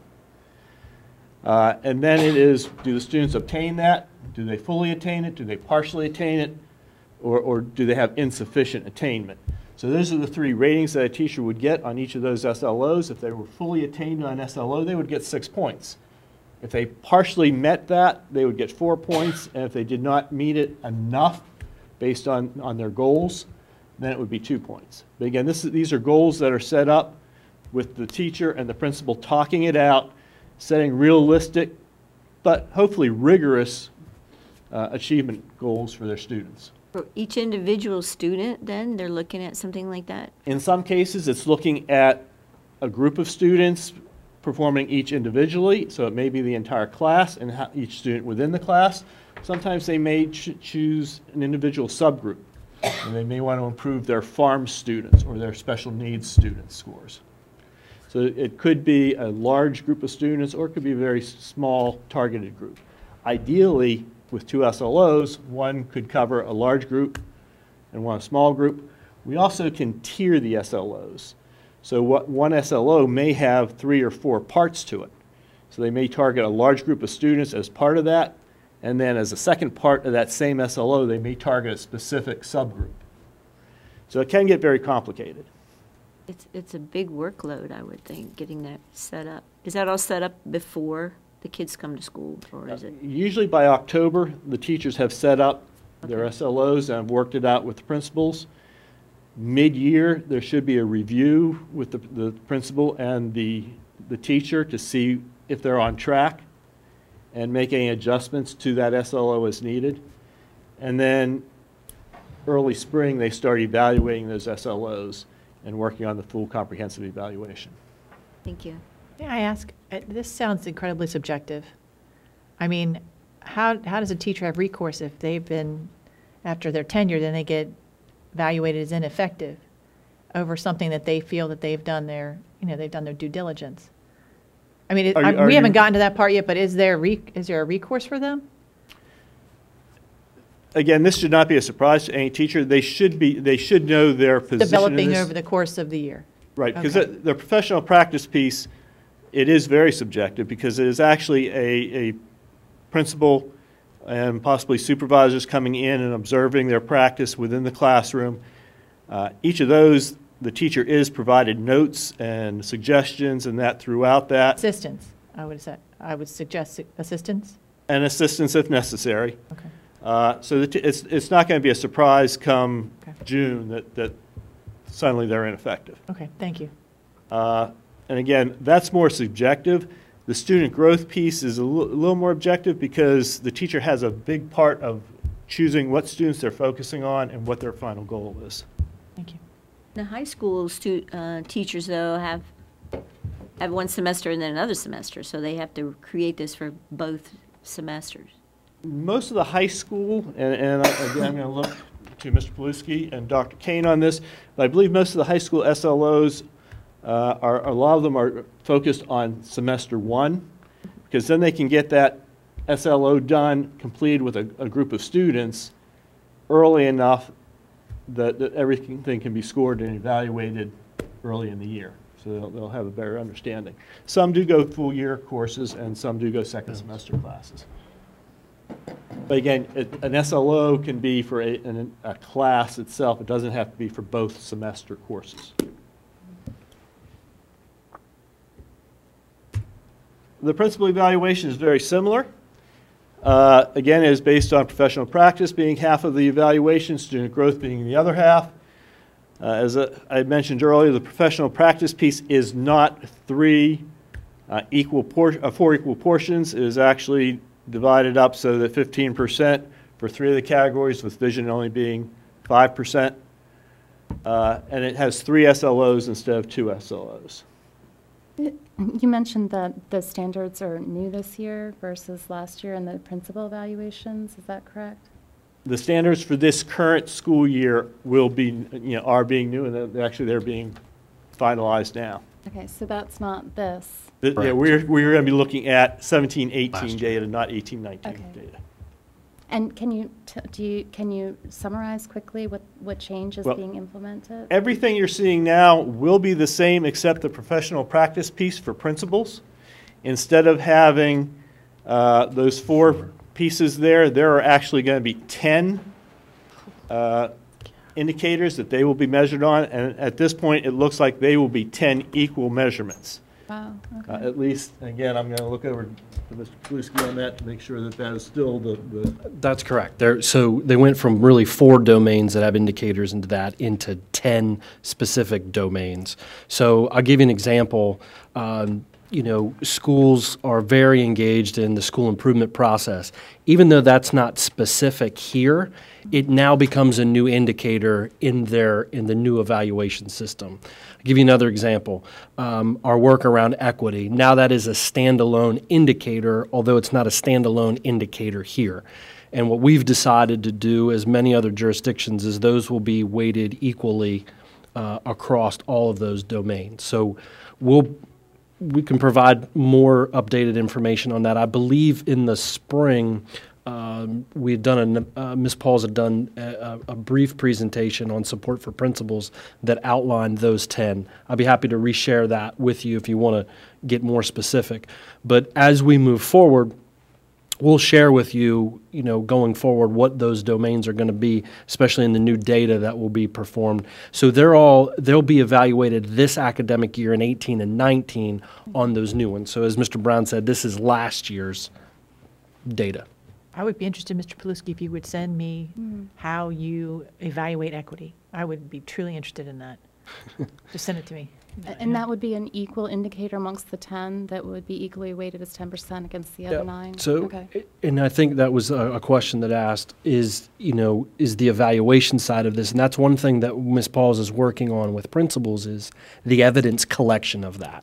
So there's a variety of things we would use on the professional practice side to evaluate. So for an example, our monitoring visits that we've been doing, that's one piece of evidence. You know, our walkthroughs that we might do with principals, that would be another piece of evidence. Their reflection uh, pieces that they provide, that's another piece of evidence. So that's one of the things that we're working on in their new 10 domains is, so what's evidence look like in each one of those?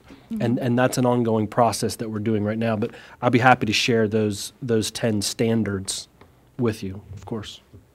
So the, the principal does provide you information, like you wouldn't have any idea of his professional or her professional learning that she's done. They have to provide you, here's what I've done to get my professional. And- So and- they do have an opportunity to provide information Oh, absolutely, absolutely. Right now, uh, David, to give you an example, all of our administrators uh, complete quarterly reflections.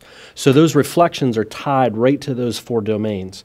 So each each quarter, you know, a few weeks uh, or a few months in between, they're providing us their feedback of, I attended this in that particular category as an example. Uh, that's one piece of evidence that we would use. Good question. Sure. Um, Just quickly, before we move on, you mentioned that other jurisdictions are using this, and this is something that would be sort of implemented at the state level, or it came from sort of a state level. I'm always curious um, about the jurisdictions around us. Would you say that it's about half of them that are using the new? So, so all of the jurisdictions in Maryland have moved to the professional, those new professional standards, the PSLE E standards, professional standards of educational leadership is what they're called, where each jurisdiction makes the local determination is the weighting of each one of those standards. So, ah. as Mr. Brown had mentioned, you can see clearly right here that one of those domains, vision, is weighted differently at 5%, mm-hmm. while the others are, are, are at 15. So, some jurisdictions are, are phasing in their standards, mm-hmm. uh, while other jurisdictions like ourselves are weighting them each equally. Okay, so that's been determined locally that it would be 10% um, It'd be, each one of those 10. being Okay. 5%. Is that, sorry, uh, is that common amongst the jurisdictions around us? Is there sort of a streamline and you're kind of seeing that? Or are you seeing like, okay, this jurisdiction felt like equity needed to be weighted higher, you know, learning from what No, is that's a, working that's in a, other that's an interesting question. I, I have not seen a, a full report. I know Mr. Brown and I talk about this often about, you know, uh, what is each jurisdiction doing, weighting it, um, and that was one of the first conversations that we had. How are others tackling this? Mhm. I think it's a little bit different. I mean, how I think back to one of Captain Kelly's comments about local jurisdictions having, um, you know, autonomy in in what works best for them. That's just how we've chose um, to evaluate our principals. And, and when this format was developed, it was developed very closely with the administration, the, the system leadership, and the principals dividing this up, and it was kind of a joint decision where those weights fell. And I, I think, and again, I can't speak for Mr. Paluski and, and Dr. Kane, I would imagine as we move into this new system, there will be a lot of conversation between school administrators and uh, the executive team, and if things need to be weighted differently, I am sure that will be part of the conversation. Okay, so principals had a chance to weigh in on those 10 domains and how that would be weighted, and that's a continual conversation. And, okay, I didn't understand that. Yeah, So this, this was actually decided at ANS meetings, Okay, th- this formula that we're currently looking at and using. thank you. And if you look at the point conversion to a comprehensive score uh, chart for the principals, the weights are are virtually the same as what they are for teachers. Again, a tenured principal cannot be developing unless there are special circumstances. Non-tenured principals uh, or, or principals new to the role, new to the school system, uh, could be considered a developing rating. Okay, one, one last one, I promise. Um, For student growth, will those domains remain three in the new guidelines, in, in the new evaluation?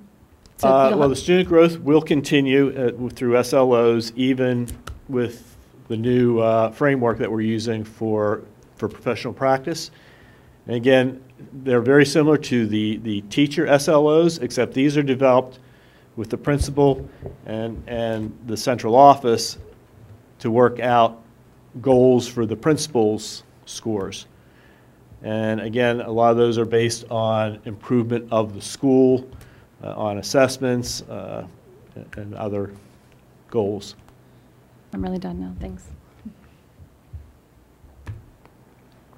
Uh, Looking at the the comprehensive evaluations, uh, this is, again, this is 17, 18 school data. We had less than 1% of our teachers being ineffective, less than a half, or just over a half a percent being developing, uh, and the rest being effective or highly effective uh, in the the professional practice portion. For the comprehensive evaluation, less than a half a percent were ineffective. And again, the comprehensive evaluation is the final evaluation that gets reported to the state. So less than one half of a percent of our teachers were ineffective. We had approximately 1% of our teachers developing, and the rest, you know, very close to, you know, actually over 98% were either effective or highly effective. When we first started looking at SLOs uh, several years ago, there was a concern that, that the student learning objectives would be detrimental to teachers' evaluations, that would pull scores down. This is just a chart that, that looks at it. Um, and if we look at the 382 uh, teachers that were effective and their professional practice score, it had a negative effect on four teachers. That means four teachers that were effective on the professional practice piece actually dropped to either developing or ineffective because of the impact of their SLO. 249 teachers had no effect. They did not go up or down based on their SLOs. And 129 teachers went from effective to highly effective uh, because of the SLOs. And if we look at the highly effective, the 127 teachers that were highly effective on their professional practice piece, 21 teachers went from highly effective on professional practice when their, their student learning goals were put in there, they dropped to effective. 106 teachers that were highly effective had no change. And of course, you can't go up from highly effective, so there was no positive impact on those. We had three teachers that were ineffective on the professional practice piece. Uh, I'm sorry, we had five teachers that were ineffective on the professional practice piece. It had a positive effect on all of them, so they moved either up to developing or effective. And we had three teachers that started out as developing on professional practice. Uh, One, the, the SLOs did not affect, and two, it actually had a positive impact on. So overall, there was a positive impact using the SLOs in combination with the professional practice piece. Principals, the SLOs had absolutely no impact on their professional practice ratings.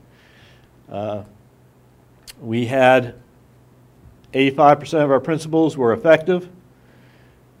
When we mix, put in their, their SLOs with it, same 85% were effective. We had 7.1% of our principals that were developing.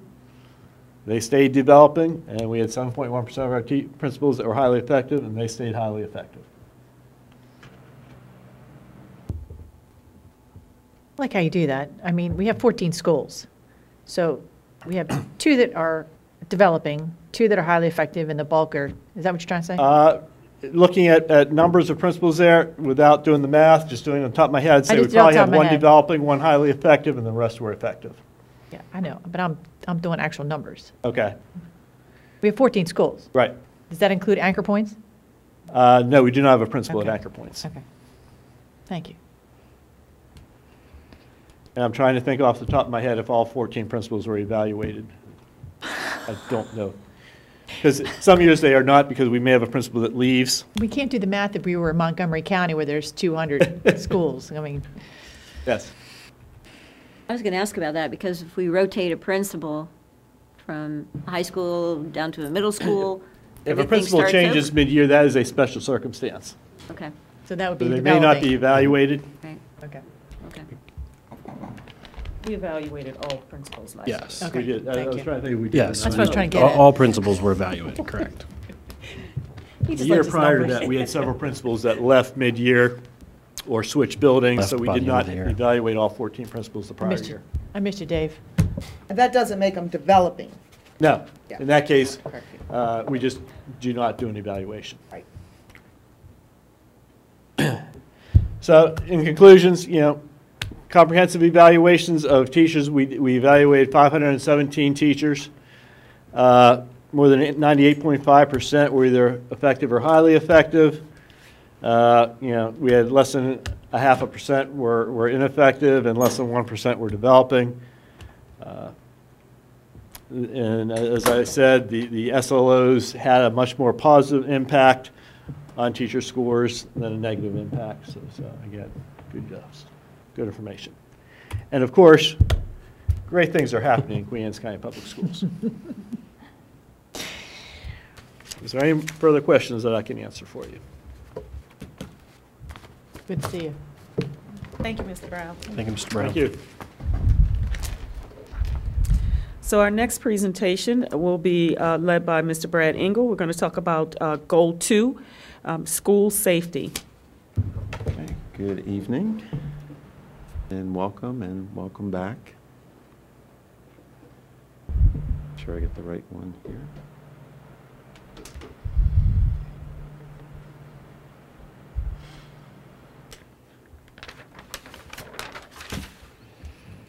So I'm here tonight to talk about student discipline and talk about data and um, our safe schools, goal two, and to pro- provide an overview of the uh, strategic plan, and I'll talk about some discipline data, and discuss what we're doing to prevent and intervene uh, with discipline issues in our schools and as a school system. Talk about trends and patterns related to student discipline, and gain an understanding about how uh, discipline data, how it impacts school climate, and vice versa. So the, the goals are, there are three goals. 99% of students will avoid committing a physical assault. 98% of elementary, middle, and high school students uh, will adhere to school policies involving tobacco, alcohol, and drugs while in school. And 97% of all suspensions will avoid, 90, excuse me, of all students will avoid committing a discipline infraction that leads to an out-of-school suspension. Under that tobacco, is that where we throw in the vape? Is that? Yes. Okay. Yeah, that's, and you know, I, I'm going to talk about that because that's the hottest topic in student discipline, not only in Queen Anne's County, but across the state of Maryland. So we're, I can tell you what we are doing uh, to intervene, certainly. Okay. Um, But talking about, um, you know, physical assault, and here's the data uh, for us. We, we did have last year 82 physical assaults, um, if we look at the numbers for 2018. Now, percentage-wise, you know, we, you know, we met the benchmark. Obviously, we are always concerned whenever there's any kind of fight. And, uh, you know, we do what we can to intervene, there's consequences, and, and we talk about ways to prevent fights where teachers are visible to the students and, and, you know, available, and, and, you know, we work on trying to, the best way to stop a fight is for, is for it never to begin in the first place, and, you know, coming up ways to prevent these things is, you know, working with schools, building relationships, and I think making kids feel respected, you know, included, I think goes a long way as well. Uh, The second goal, 98% of elementary, middle, and high school students will adhere to the school policies involving tobacco, alcohol, and drugs while in school. And uh, last year, we had 69 uh, suspensions uh, for these items, uh, for either or. And uh, so students were either in possession or in use or distributing.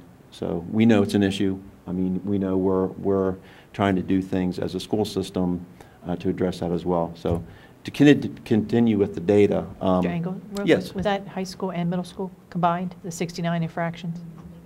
Well, we did, yes. Okay. That's, that's correct. Okay, Um, thank you. Yes. And I can, I can get you a breakdown. It's actually on the MSD okay. website. That's Um, okay. Thank We you. didn't have any elementary infractions. Thank So, God. Yeah, so that's a good thing.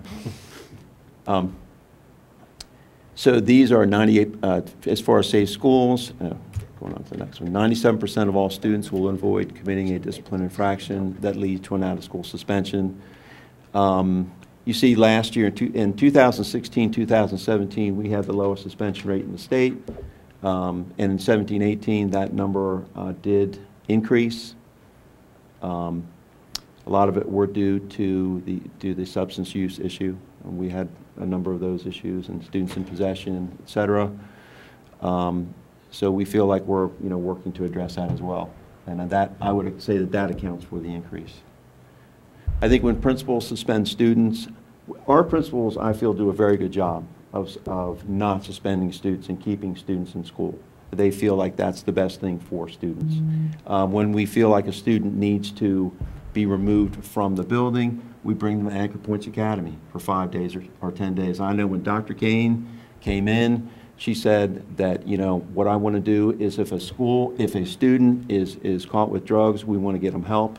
So we provide an intervention at Anchor Points Academy uh, for those students. We feel that's of great benefit. Um, While the students are at Anchor Points Academy, uh, we have a wonderful substance use counselor, Kathy Wright, and she does some great things with those kids, getting them assessed and um, helping them. And we're here to help kids. We, kids need a consequence, they need to know what they can do and what they can't do, but we're here to help kids. That's the bottom line. Mr. Engel? Yes. Since Ms. Kathy Wright started, how many students have been assessed? Uh, Since last year? Um, I don't know that exact number off the top of my head, but she has done a lot. Um, I mean, I can get you those numbers specifically. Um, I can say that, I would say approximately last year, she started last year, and, and she had a partner last year, Alexandra Wade, that worked with her. I would say thir, I would say about 31 last year. So it's, it's in the low 30s. I don't have that exact number, but I can get that to you. And this year, probably about uh, 10 or 12 already. And these are kids who are avoiding suspension, going through these assessments. Well, the, we assess any student that is in violation of our substance use policy. So generally, there is, like I said, we try to avoid a suspension, we, but we do remove them from their peers for a period of time and put them in anchor points, because we feel that's more of a consequence. That they have to get up and go and get instruction and help instead of staying at home. Um, But any student that's found in violation of that, and yes, it, the- yeah, most of the consequences were some kind of removal, you know, from their peers. Yeah. But, yeah, we mandate that in our policy. Any student that violates the policy gets an assessment. Right. And with the substance abuse policy, they are put out of school. They're not brought to an- anchor points. They're caught with a vape, they're out of school. Well, if they're caught with a vape, they're violating the. Right, right, that's what I wanted to clarify. That's a violation. Of the It does put tobacco them policy. That's a out of violation school. of the Right, tobacco policy. Right. So they're not They're not necessarily. serving in-school suspension. They're not that. necessarily suspended, though, if they're caught with a vape, Why is that?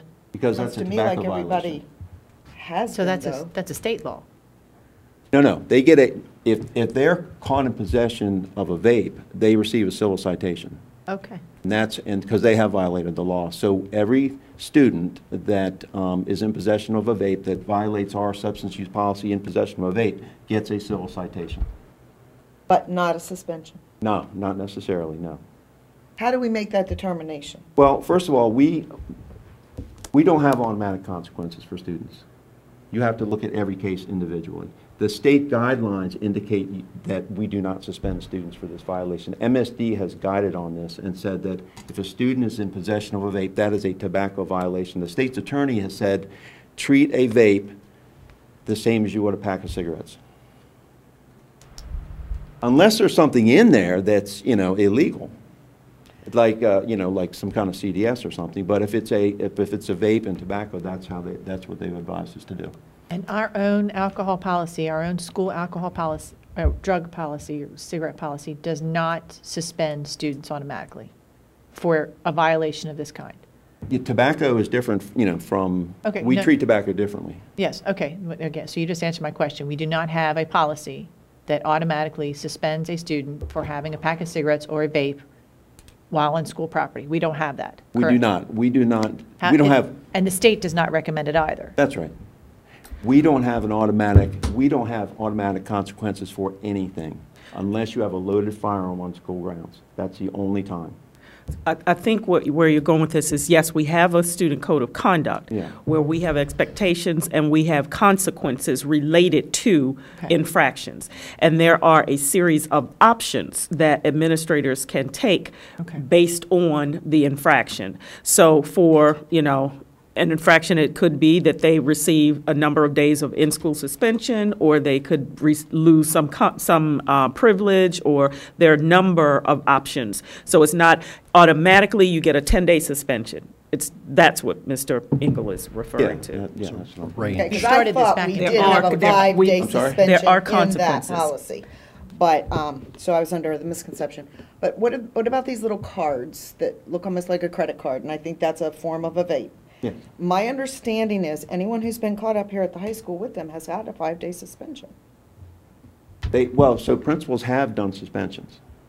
But according to our discipline guidelines, they should not be suspended. Again, I'll go back to my question originally. How are we monitoring that and ensuring equity? Or they don't have to be suspended. There are some options that they have. And what we did last week or two is we pulled all of the principal, the high school principals or middle school principals involved in that. Yeah, we brought all the principals together to have that conversation. so that there's consistency between the schools, because what we found is that there was not consistency You- uh, you're in right, the there was not, consequences mhm, given. And so we pulled everybody together, and we worked on revising the code, the discipline um, consequences, so that everybody has a consistent consequence that they use. So what you're hearing is, you you probably did hear that, um, because there was some inconsistency, but we pulled the group together and we worked on that uh, consequence. And so from this point on, they will be implying the, applying the same consequences or have the same set of options. And one of them is that, and I don't want to get ahead of you, Mr. Engel, but one of them is that, yeah, law enforcement is going to be involved. They'll take the, whatever the paraphernalia might be, and that there will be um, a citation imposed. It's really interesting because I, you know, in speaking with my advisory groups, both parents and um, students, and students on yesterday, you know, we talk about how we can you know, reduce the number of fractions. We don't have any, dis- uh, you know, illusions that we're going to wipe it out completely. It's not, people do what people do, including children. Um, and this is a tough one. This is a tough one. We even had uh, some of our students suggested that the citation be a lot more than $50. I said, well, we didn't set that, we can't control that, but they thought that that would be uh, a greater deterrent because then parents would be getting behind students if it was greater than $50. Um, but, you know, we're going to do a video campaign and we're going to do some social media campaigns, but that is a tough nut to crack. Um, but we do have concern about our students who actually have a nicotine addiction. And the most important thing that we do for those students or any student who's caught with any of that paraphernalia, whether they're using it or distributing it or just in possession of it, is that we get them some help. And so uh, part of the consequence is that they have to participate in a cessation, um, you know, program. And, and that's part of what I know Mr. Engel was going to say Yeah, before I no, jumped that's in there. okay. Sorry about that. Well, two, so two things happen if, it- if a child is caught with a vape or tobacco is. Cigarette or cigarette. Yeah, yeah. Okay.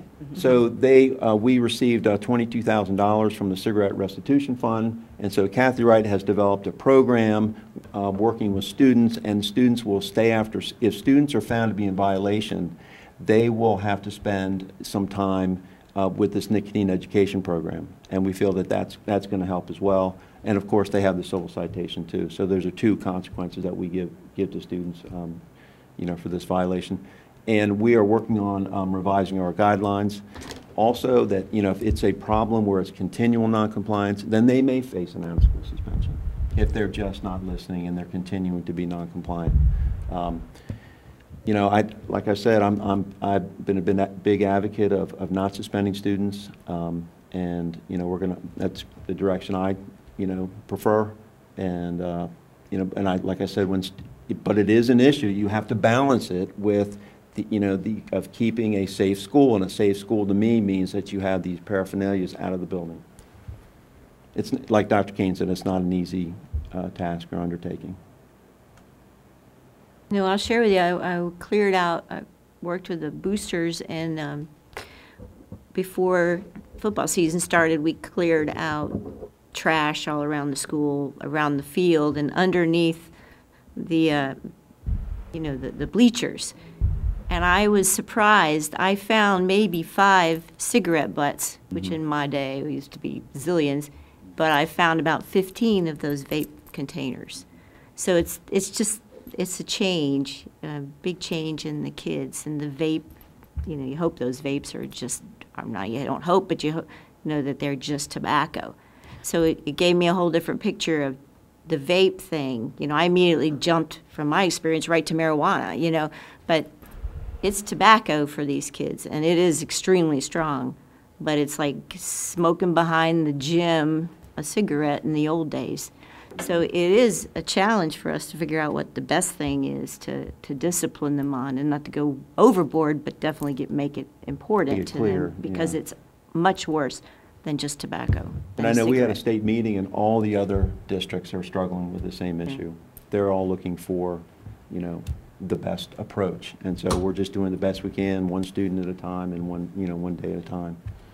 And uh, Mr. Engel and I have been drafting a communication to the community um, that's going to talk to them about exactly this and the efforts that we're taking, um, and the new legislation that talks about the fact that they will, law enforcement will be involved, and that there is a citation and the amount of the citation and all of that. So probably a day out. We've been tied up today, but we probably could get it out tomorrow.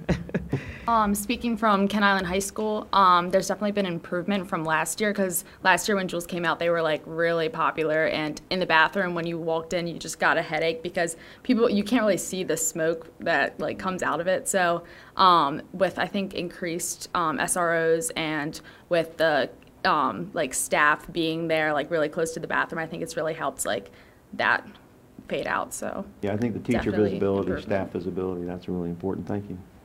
So when a student is caught with vapes, cigarettes, tobacco products, or even CDSs, is there family involvement? You're taking these kids into cessation classes or counseling. Is the family brought in for that same offer if they found it's a generational issue? We haven't, uh, well, we, you know, dealing with the consequence, we just offer to the student. Mhm. But, I mean, that's an interesting idea. We, we can certainly, you know, make it available to the families or something available to the families. That's, that's, that's a good idea. We generally Getting don't. to the root cause. Yeah, I like that idea. Yeah, excellent. Um, I just have a quick question. And so the vapes, I- I'm not too familiar with how, like, when the student is caught with the vape, it, I'm curious as to how quickly it can be determined that it's only tobacco.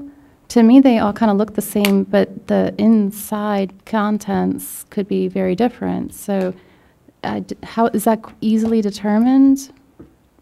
Uh, Well, the, the school administrator is going to have to make that decision. And they are the person, if they believe there's a preponderance of evidence that it is, then they can, you know, um, you know, make a decision about what they're going to do as a school. Now, with all the vapes being turned over to law enforcement, what that does is now law enforcement has every vape, so they can now determine you know, from there, you know, what is in the vape. Mhm. You know, we've had situations where food products have contained different oils Mhm. that are, you know, CDS. So, you know, somebody brings in some Rice Krispie treats, and, you know, it's scary. It's very scary. And it takes a know. while to get that result back, if Mm. we sent it out for testing. Yeah, testing. we, yeah, we send it How long out. does it take? It can take months. Oh, really? Versus law enforcement now, which will have those results more quickly, possibly?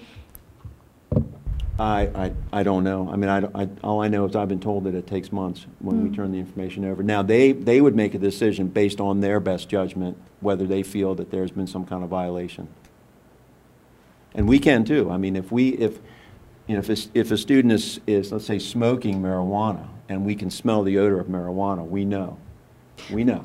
That's what I'm curious about, because so many of the vapes, even if it's cannabis or, um, you know, THC or CBD, it's odorless. And so that, to me, I'm just curious how this is being determined, exactly what it is, so quickly. You look at the behavior of the student.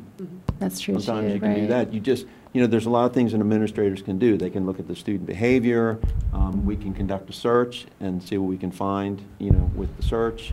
And, um, you know, so, you know, like I said, that the administrator has to have that preponderance of evidence. It's different than law enforcement. Law enforcement is, is a little more, they need a little more evidence, but we can take action. And Mhm. again, what we try to do is help the child. Mhm. Bring the parent into the school and say, look, this is what we think is going on. Mhm. Let's work together and get some help. We're not, I'm, you know, I don't think we need to play a gotcha game, Mhm. you know? We need to monitor kids and make sure they're not doing, you know, doing the things that, you know, we're talking about. Intervention and rehabilitation. Yeah, but if we, yeah. if, if there's a kid that's under the influence and it's clear, we got to pull that kid in. We got to bring the parents in. We got to bring law enforcement in. And then we got to provide some mental health services and counseling. This kid needs help. Mhm. You know, it's not trying to, you know, drop the hammer on this kid. We need to really help this child. That's probably um, e- easily determined if the THC level was really high, but there's so many that have sort of a low THC. So, you know, the, the lack of physical manifestation of the, the cannabis in the system. So that, that's curious to me. And then the last question I have is you mentioned sometimes you're having to send items off and you get those results back months later. I'm not, you know, we're not involved in that. Oh. Um, But because if we. Oh, if we you had to, so it's the not like a regular I'm thing sorry, that's We turned over happening. the SRO, and that's, that's, all of a sudden, that's a law enforcement issue. And Oh. then th- they are, you know, the family's dealing with law enforcement. We're not involved in that. How often is that happening?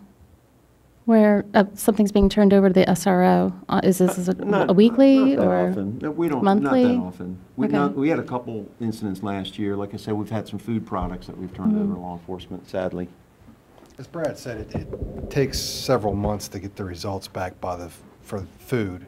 Mhm. And also, a lot of times, it's harder to test, the equipment that is used It's harder to t- detect and test on those food um, substances. So it's, it's a little Mhm. bit more complex. So only a couple times a year, this isn't happening I can only think of a couple of occasions that we, we did it in the past year. And again, out of the hands of the Board of Education. Yeah, that's Right. correct. Totally with the law That's right. enforcement. Mm-hmm. That's right. Okay. Uh, And then you can see the, you know, the, the different categories, and I, I I know I've gone well over time, so. uh, For last year, the, the reasons for suspensions, and there's the demographic breakdown. um, And this is for another day, but we'll be talking about, I think, next month, we talk, or in January, we're talking about disproportionality and, uh, you know, make, and, and, and and the suspension rate. So you can see that there's some disproportionate numbers there. Is that a whole nother presentation with with ideas of of Well, I've been ways to intervene or, in- Yeah, in January, so one of my roles is I oversee education that's multicultural, cultural proficiency, along with disproportionality, which talks about, you know, suspensions of African-American students and special ed students. And yes, that's another, that'll be part of what I talk about next month. I can I can get more detail into- uh, into that. And if, you and I would just offer, if there are specific questions that Yeah. you want to be sure that we answer in that presentation, if you get them to us, we'll make sure that they're included. Sure, sure. And I already mentioned a lot of things that we do. I mean, there's a lot of, I think getting mental health, men- mental health and help for these students is really key. That's really, really important. So we've got a good team in student services. They're working hard, creating a school climate where kids feel accepted and respected. We want kids to feel like they belong when they walk in the building. That goes a long way. if you do that, you know, you- you've gone a long way to helping kids. What you just said actually was the one thing I took out of the Chris Herren presentation was that, you know, having that feeling of connection as um, a big way that, you know, turning to drugs and alcohol uh, is, is not happening. You know, it's just some kind of sense of connection, and that's something that he tries to promote. So what you just said absolutely touches on that. Yeah, you got to feel connected. You got to feel loved, you know? I mean, you Yeah, do. right. That's just life. That's the way it is. Right, We all want to belong, right? Yeah. Okay. All right, thank you, Mr. All right, Engel. thank you. I have- I have one more, I'm sorry, one more thing. yeah, one more Mr. question? Engel- Sure. Yeah, I'm sorry. Um, okay. I noticed in the Bay Times today that um, you, there's an article in there of you, and you've combined uh, some of the committees. Yes. I just wanted to, I, I was trying to figure out, we have not deleted the anti-bullying, the whole committee has been combined into Oh, something. never, never, So the anti-bullying event that we have every year still is, is going to be done. Is that right? I couldn't tell in the article. So the safety net Right, safety. combines the anti-bullying committee, the suicide prevention, and mental health. And we all meet in one big group, and it's a really great meeting. And there's about 40 people there from all the agencies and community members and parents. Then we break up into subcommittees, and we are doing anti-bullying initiatives, and there's a lot of things that, you know, that we're doing, um, and, and along, and in all these areas. But the safety net is that, you know, combination. Okay, And I can provide more information about that, too. Be happy to. Thank you. Whatever you need. Thank you, Mr. Engel. All right, thank you. And our final presentation is going to be uh, conducted by Mr. Farley, Mark Farley. He's going to talk about highly qualified workforce um, and include some information about our work with uh, building a diverse workforce. Good evening. It's such a pleasure to be here on uh, the first night for some of you and first night back. It's a joy to work for the Queen Anne's County Public Schools and as a part of the executive team for Dr. Kane. Um, Let me get in here.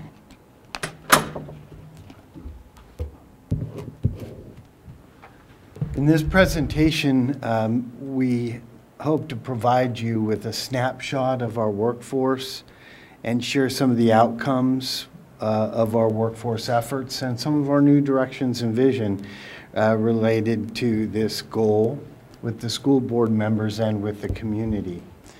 First, let me give you a snapshot of our workforce. You know that we have about 7,500 um, students, and we have 1,510 employees of all kinds uh, that serve our students in such a fantastic way every day. We sometimes forget about our hourly employees, but they represent uh, a fairly significant percentage of our overall workforce at uh, 38%. There are 566 hourly employees that include substitute teachers and five-hour paras, uh, et cetera. Uh, We have 608 teachers, 35 of which are new this year. Uh, We have uh, 34 administrators, which represents 2% of our total workforce. And we have 302 support employees, which represent 20% of our workforce. Uh, The support administrators and teachers are all collectively bargained among five units, as I've mentioned, and the hourly employees are not. Oh.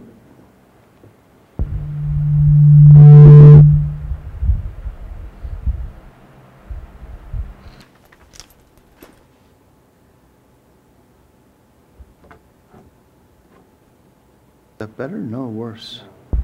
You want to do the slide? Slideshow.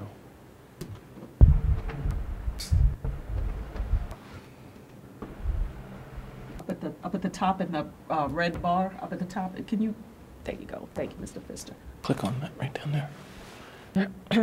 Got it, Thank you. you? Sorry, that's better. Thank you so much. So uh, the statistics we provided to the Maryland State Department of Education as of October 11th, 2018, reflect that our overall workforce, which is the 1,510 employees that I just outlined for you, is made up of 78% uh, female and 22% male employees. Of those, 7.11% are African American female and 5% are African American male. And 1.3% of the total workforce of 1,510 is Hispanic or Latino, and 0.05% Asian. Among our 622, uh, excuse me, 566 hourly employees, 11.20% are African American and 0.02% are Hispanic or Latino. So that's just a little snapshot of the diversity of our current uh, workforce. Um, Did- Do you want me to go I just add just one little small comment. So in that seven percent African-American, five percent are African-American male, a great majority of those fall in our support three group. Many are custodians. Thank you. Yes, thank you. Our first uh, goal is to retain new teachers at least three years. Uh, And the three-year mark is a real high turnover mark for teachers, whether they're going to like it or not like it. Uh, And our performance in this regard has gone up and down over the years, um, a- especially as the labor market tightens and everyone is trying to get teachers. They tend to follow the money more. Uh, So it's just a matter of crossing the bridge. So our, our 2018 performance, which is um, the 17-18 year, we achieved 74% retention of our new teachers. Did not meet the 80% goal. Our next goal was to retain teachers, new hired teachers for five years. And we really took a fall here. We monitor exit, report, exit interviews, um, and retaining people is just as important as hiring new people who are diverse because uh, it means the variety of our workforce and the employees we put before our students and can they see their own likeness in them. It actually makes a really big difference.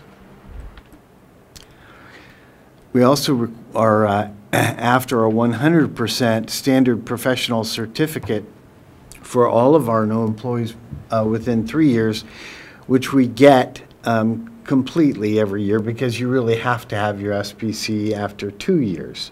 But we still have 12 um, uh, provisional certificates in tough subjects like Spanish, science, math, et cetera. We have to get, sometimes we have to get people because they're the only people we can get. And then we train them up and help them uh, ensure they meet the requirements for certification uh, within this period. Um, This is a graph of our goal that we hire 10% um, minority candidates each year. And you can see that it's fluctuated pretty wildly with 2015 being a year where none were hired. And I'll talk in a minute about the things we've discussed that will help us achieve greater results in that area. These are, this is our applicant pool, and I share this with you because the, the process of, of recruiting is reflected in the applicant pool and their diversity. The more, the more diversity we have in our applicant pool, the more diversity we hopefully will have in our new employee pool, and on and on. So our, um, our applicant pool was about 62% female and 24% male, which is not terribly unlike the results that I shared with you a moment ago. And one person who had a non-binary gender, meaning that they didn't identify with either gender. Uh, 70% were Caucasian, 7.7% African American, 4.6% Hispanic or Latino, um, 0.6% Asian or Pacific Islander, and 1.2% uh, two or more races, and um, 0.2% African or American Indian or uh, Alaskan Native. The Equal Employment Opportunity Commission says people can say whatever they think they are or whatever they identify with. So uh, this may differ a little bit from what it is we have on our records. So uh, in our new uh, our new workforce quality targets, uh, there are four of them.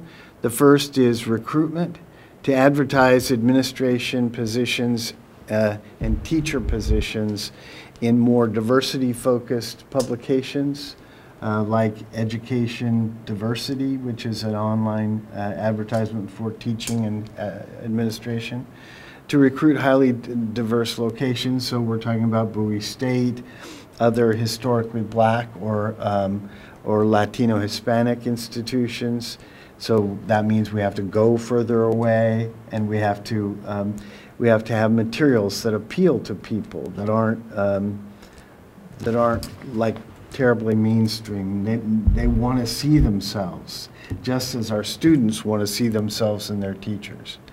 Um, and that we would implement a voluntary uh, affirmative action plan, uh, which means simply that we have to have a lot of labor market information. We don't just advertise and recruit from Eastern Shore. We have to go all over. So our, our labor market statistics and information has to come from where our applicants come from, which is far broader. Um, so these things, uh, this is the first of strategies that we're gathering benchmark data on so that next year we can report how we're doing against this year.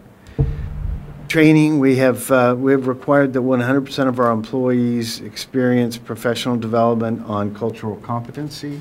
Um, Really, all credit to Mr. Paluski and Dr. Kane and, and uh, Ms. Pauls, who brought in experts on uh, helping all of our administrators, especially, understand the nuances of cultural competency. And, and we've required them also to um, take training in interviewing uh, for that same reason and to avoid legal liability.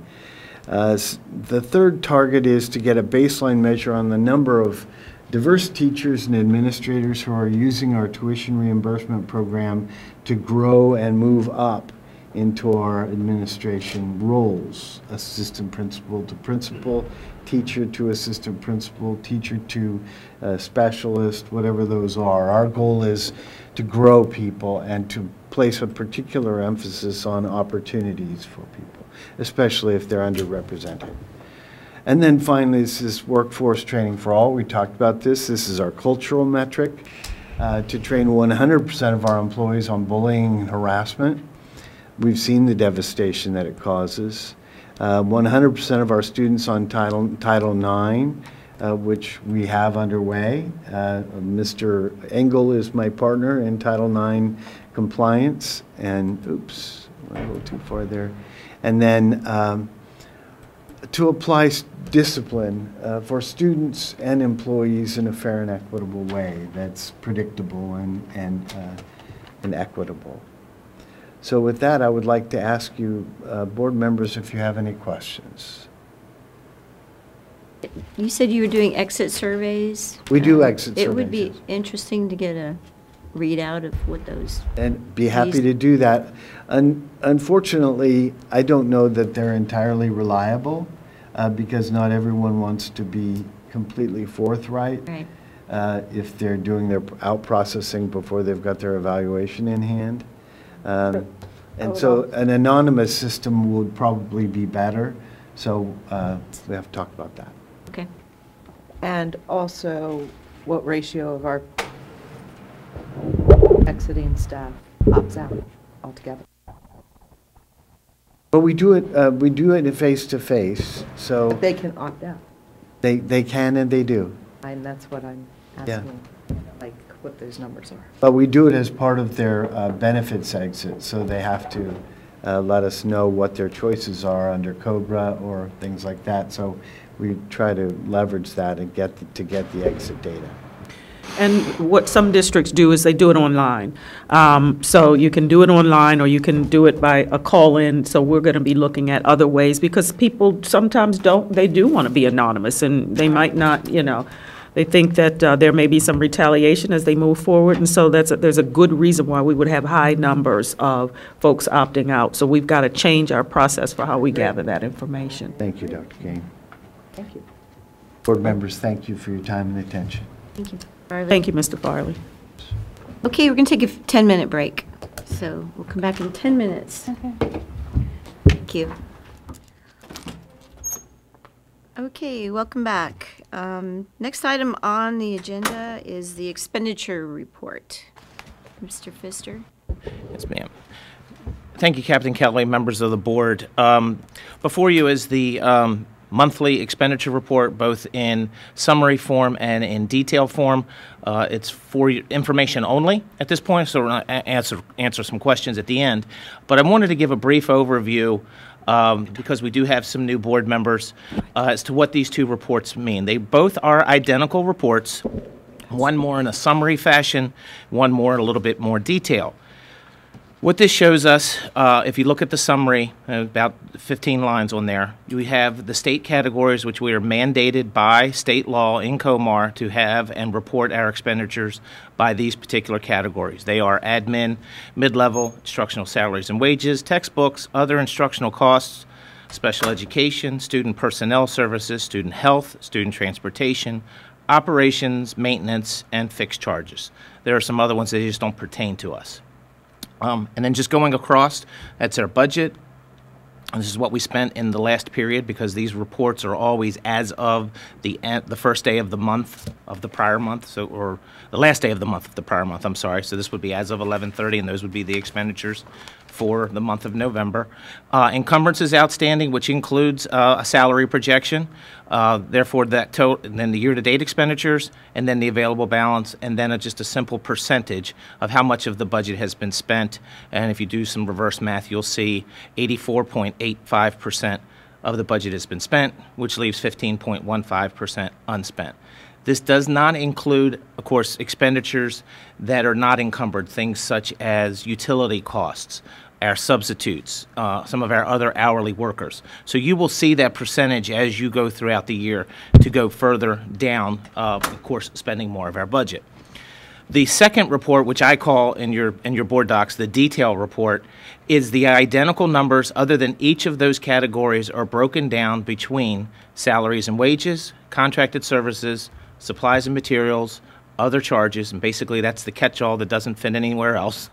Furniture and equipment, and transfers, and transfers is a special category that we have to um, allocate expenditures based um, on the need, which is basically if we have to pay another LEA or a non-public agency to educate some of our children, it's considered a, uh, a transfer. Um, reviewing this, um, expenditures look to be in line. We're actually in a little bit better shape than even last year uh, at this time, based on the percentage. Um, there are uh, some small negatives there that we will adjust probably in January or February via a categorical transfer, if need be, or at least certainly an object transfer once we have to get through the budget or into the budget process and have meetings with staff to determine what some of those are. But there are no surprises here. There's no real issues. But if you have any questions, I'd be happy to answer them. I just want to pass the new, new people, this is very complicated to understand. Um, it's not in quite as much detail. Um, like you can't look in there and say, oh, where is a bus? You can go to transportation and know somewhere in there the buses go. So, so to dig deeper, you need to, you know, contact Mr. Pfister. And as we develop our budget, we'll start to understand more how this works. Um, because we'll be looking at the nitty gritty on our budget. Yes. Um, So this is like, the, the nitty gritty is, you're exactly right, is the exact thing that we're purchasing. I'll use that as a bus. Well, a bus is a bad, uh, not a bad example. Let me go into the schoolhouse. So if we're buying textbooks, that goes into the supply and materials category within the instructional supply category. So if you notice on some of the, on the detail in category three, the only thing that's shown there is instructional salaries and wages. It's the only thing that can possibly be reported there. Textbooks, which is in supplies and materials, is the only thing that can be reported in category four. And in category five, again, like I mentioned, it's kind of like everything else, which is like meetings and conferences or reimbursements for travel or dues and subscriptions and things like that. Those categories in instruction, only certain things can be charged to those. But if you get into operations and maintenance, you'll see salaries, contracted, supplies, equipment, all of that in one category. So there's a little more flexibility there to do some things, but it's all very similar. And that, as Captain Kelly mentioned, as we get into the budget discussions, we can break these things out a little bit further for you. We can also have some uh, more detailed conversation when we do your orientation. So you'll have some face-to-face time with Mr. Pfister. Absolutely. All right. Thank you, Mr. Thank you. Pfister. Thank you. So moving to current action items, um, do I have a motion to approve the HR report, which was submitted and brought up at uh, closed session? So moved. Remember, please respond when I call your name. Ms. Harlow? Yes. Ms. Harper? Yes. Captain Kelly? Yes. Ms. Morissette? Yes. Ms. O'Connor? Yes. Okay, the HR report is approved. Next item is uh, vehicle purchase. Mr. Pender. Point of order, um, Captain Kelly, I thought we had moved policies for second read. That's the, that's 9.03. Okay, so that's actually. It comes after current. vehicle. We've already done that. We moved it. Yeah. we- Comes after vehicle purchase. Okay, thank you, thank you very much. Discuss the vehicle. Okay, thank you. Captain Kelly, if you don't mind, I'll, I'll speak on, Oh, sure. on, on this item. So before you is a request to approve a purchase of a 2019 Ford Explorer to replace Mr. Pender's failing uh, vehicle of over 10 years old. Um, I heard it blew up. It did. With this being a, a material purchase over $25,000, it does require your approval. Uh, It is for a 2019 Ford Explorer XLT four-wheel drive to keep him safe in the winter weather that's coming up here shortly. We did go out, we were able to locate an intergovernmental cooperative purchasing agreement through Howard County Government, um, where we were able to procure a Ford Explorer vehicle. There's not many bids out there that would allow that. In time of the essence, we needed to piggyback on an existing vehicle uh, procurement bid. And again, like I said, that was through Howard County. Um, The reason we were selecting the Ford vehicle is a lot of our uh, equipment, Mr. Pinder can talk to this, is serviced and repaired by our roads board, and they have highly qualified mechanics. So if we were to go with another brand or whatever, we may not get the service and the turnaround as we did. So that was the reason we we were specifically uh, requesting a Ford Explorer. So with that, I ask that you approve this purchase on behalf of the superintendent. So they were purchasing a number of items in Howard County, and we were able to put ours in with their order? You, you, n- no, not, piggyback on their contract pricing. So are we purchasing or leasing? We are purchasing through capital, Okay. through the vehicle that was, through the vehicle funds that You'll were see established. The, the board um, and the county commissioners gave us $155,000 to replace vehicles. Most of our vehicles, I think I was, I was telling um, Sharon earlier, out of 18 vehicles, um, 11 of them are 14 years or older. Um, Specifically, seven of them are 18 to 21 years. So we drive them until The wheels we fall can't off. get any farther. And the sheriff's department didn't have one for you to pick up? Like that Buick? If they would have given me the Explorer, you know, police Yeah. pursuit one. With the police interceptor package, So absolutely. I, I do have a question, Mr. Booth. Do we require three bids, or can we Go, just because we piggybacked. because We can. Because We- we yes. piggyback, we're good. We, Okay. We I wanna will when the compliant. opportunity presents us to, for us, but to- in the instance of having um, limited staff and time, and especially this one being more of an emergency purchase, we do go out and look for existing cooperative agreements that we can piggyback on. Um, Saves a lot of time, energy, um, and the prices are every bit as good, if not better, from the larger agencies that we can piggyback on than what we would able to be, do here locally. We just try to keep it consistent with Public Works. Most of the sheriff's departments have Explorers, and when I'm working on them, it's just more Yeah. convenient for those guys to do it. They do a nice job out there. The the ones that are really hurting it, um, now are we, we're budgeting We to have those potentially have Yes, to per- have replace in- those? Yes, so basically, not to jump the gun here, but we have a box truck, Mr. Jeff Risley's, we need to replace. We also have a, um, I'm sorry, a box truck that we transport furniture and all around. Um, That was 21 years old, it just went up.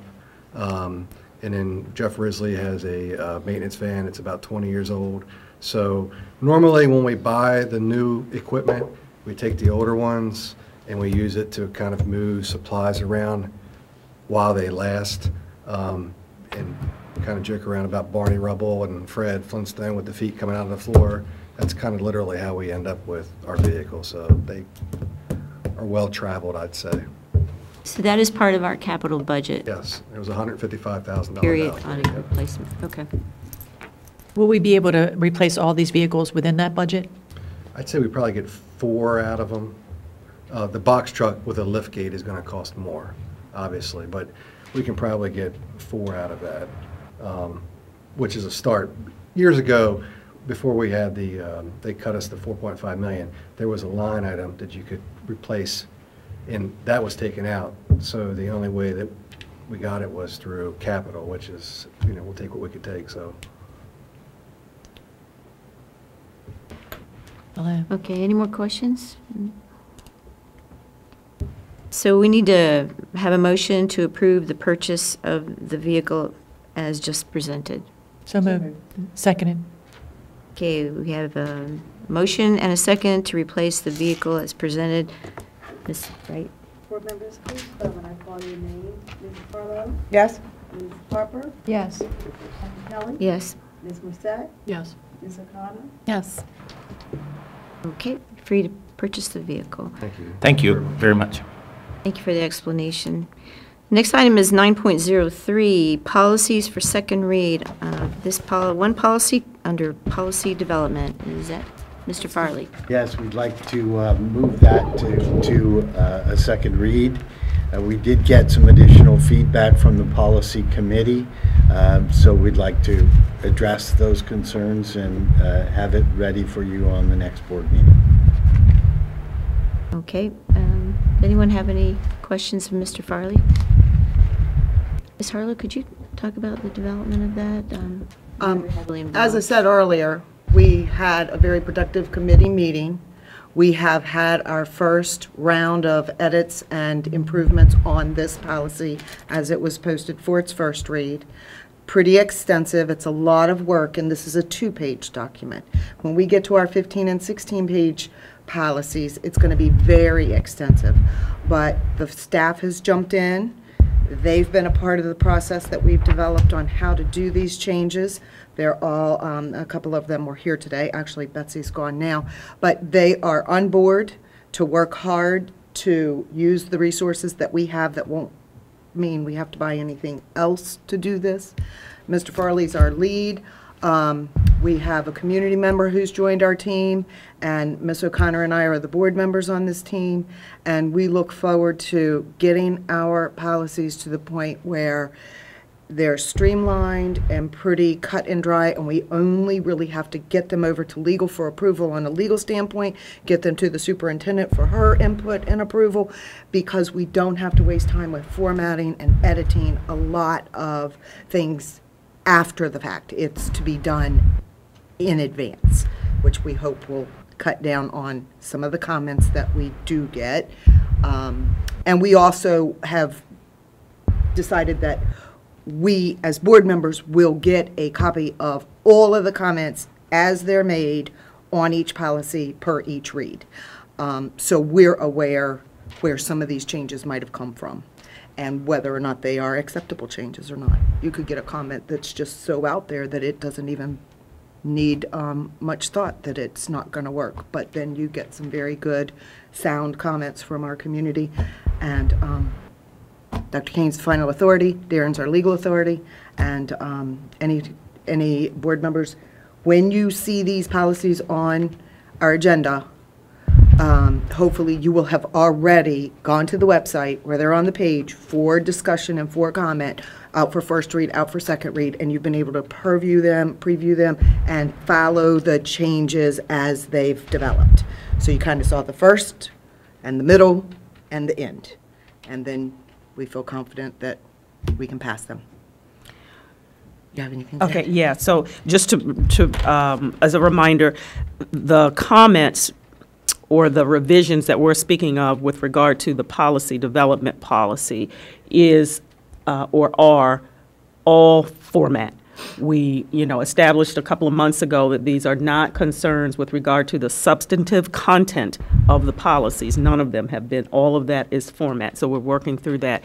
But I do want to uh, raise just one concern, is that, remember, we don't just have the policies that are coming forward. We've got some policies that have already been approved and some old policies, so we've got a lot of policy work, and that work really is going to require a person to manage that. That. And when I say manage that, I mean to uh, do the typing and the formatting. So it's not something, Betsy has a full-time job, as does everybody who's involved with that, but that is a lot of sitting down tedious work. So we are going to be looking to stipend. We're not going to ask for a new position, clearly, but we are going to look for uh, the ability to stipend a person to sit down and just push those, because remember, we haven't approved policies since September. So we've got a number of policies on backlog, not because of substantive issues, but because of formatting. So we're going to need somebody to get through all of that typing work is really what it is, that has some understanding, experience with policies so that we can get that done. Um, do we need to pay them thirty dollars an hour? No, we don't, but we do need to have someone who can, uh, work with us so that we can get that done on a stipend Will you basis. be putting that out through HR? That- Yeah, that position? yes, we will, but we certainly want to talk about it here openly first. That goes a little against what we discussed. I'll have to check our minutes. As you know, we prepared minutes on what we agreed, Yeah. and we agreed on the modified uh, flow chart for how policies would be done. But the truth is that with what we originally had, 267 policies in all kinds of formats and crinkly paper and stuff, we, in order to get these up to speed and meet Dr. Kane's expectations and yours, we will need some additional help. And I mentioned that Yeah. in our meeting, that I could foresee that um, being um, a money item.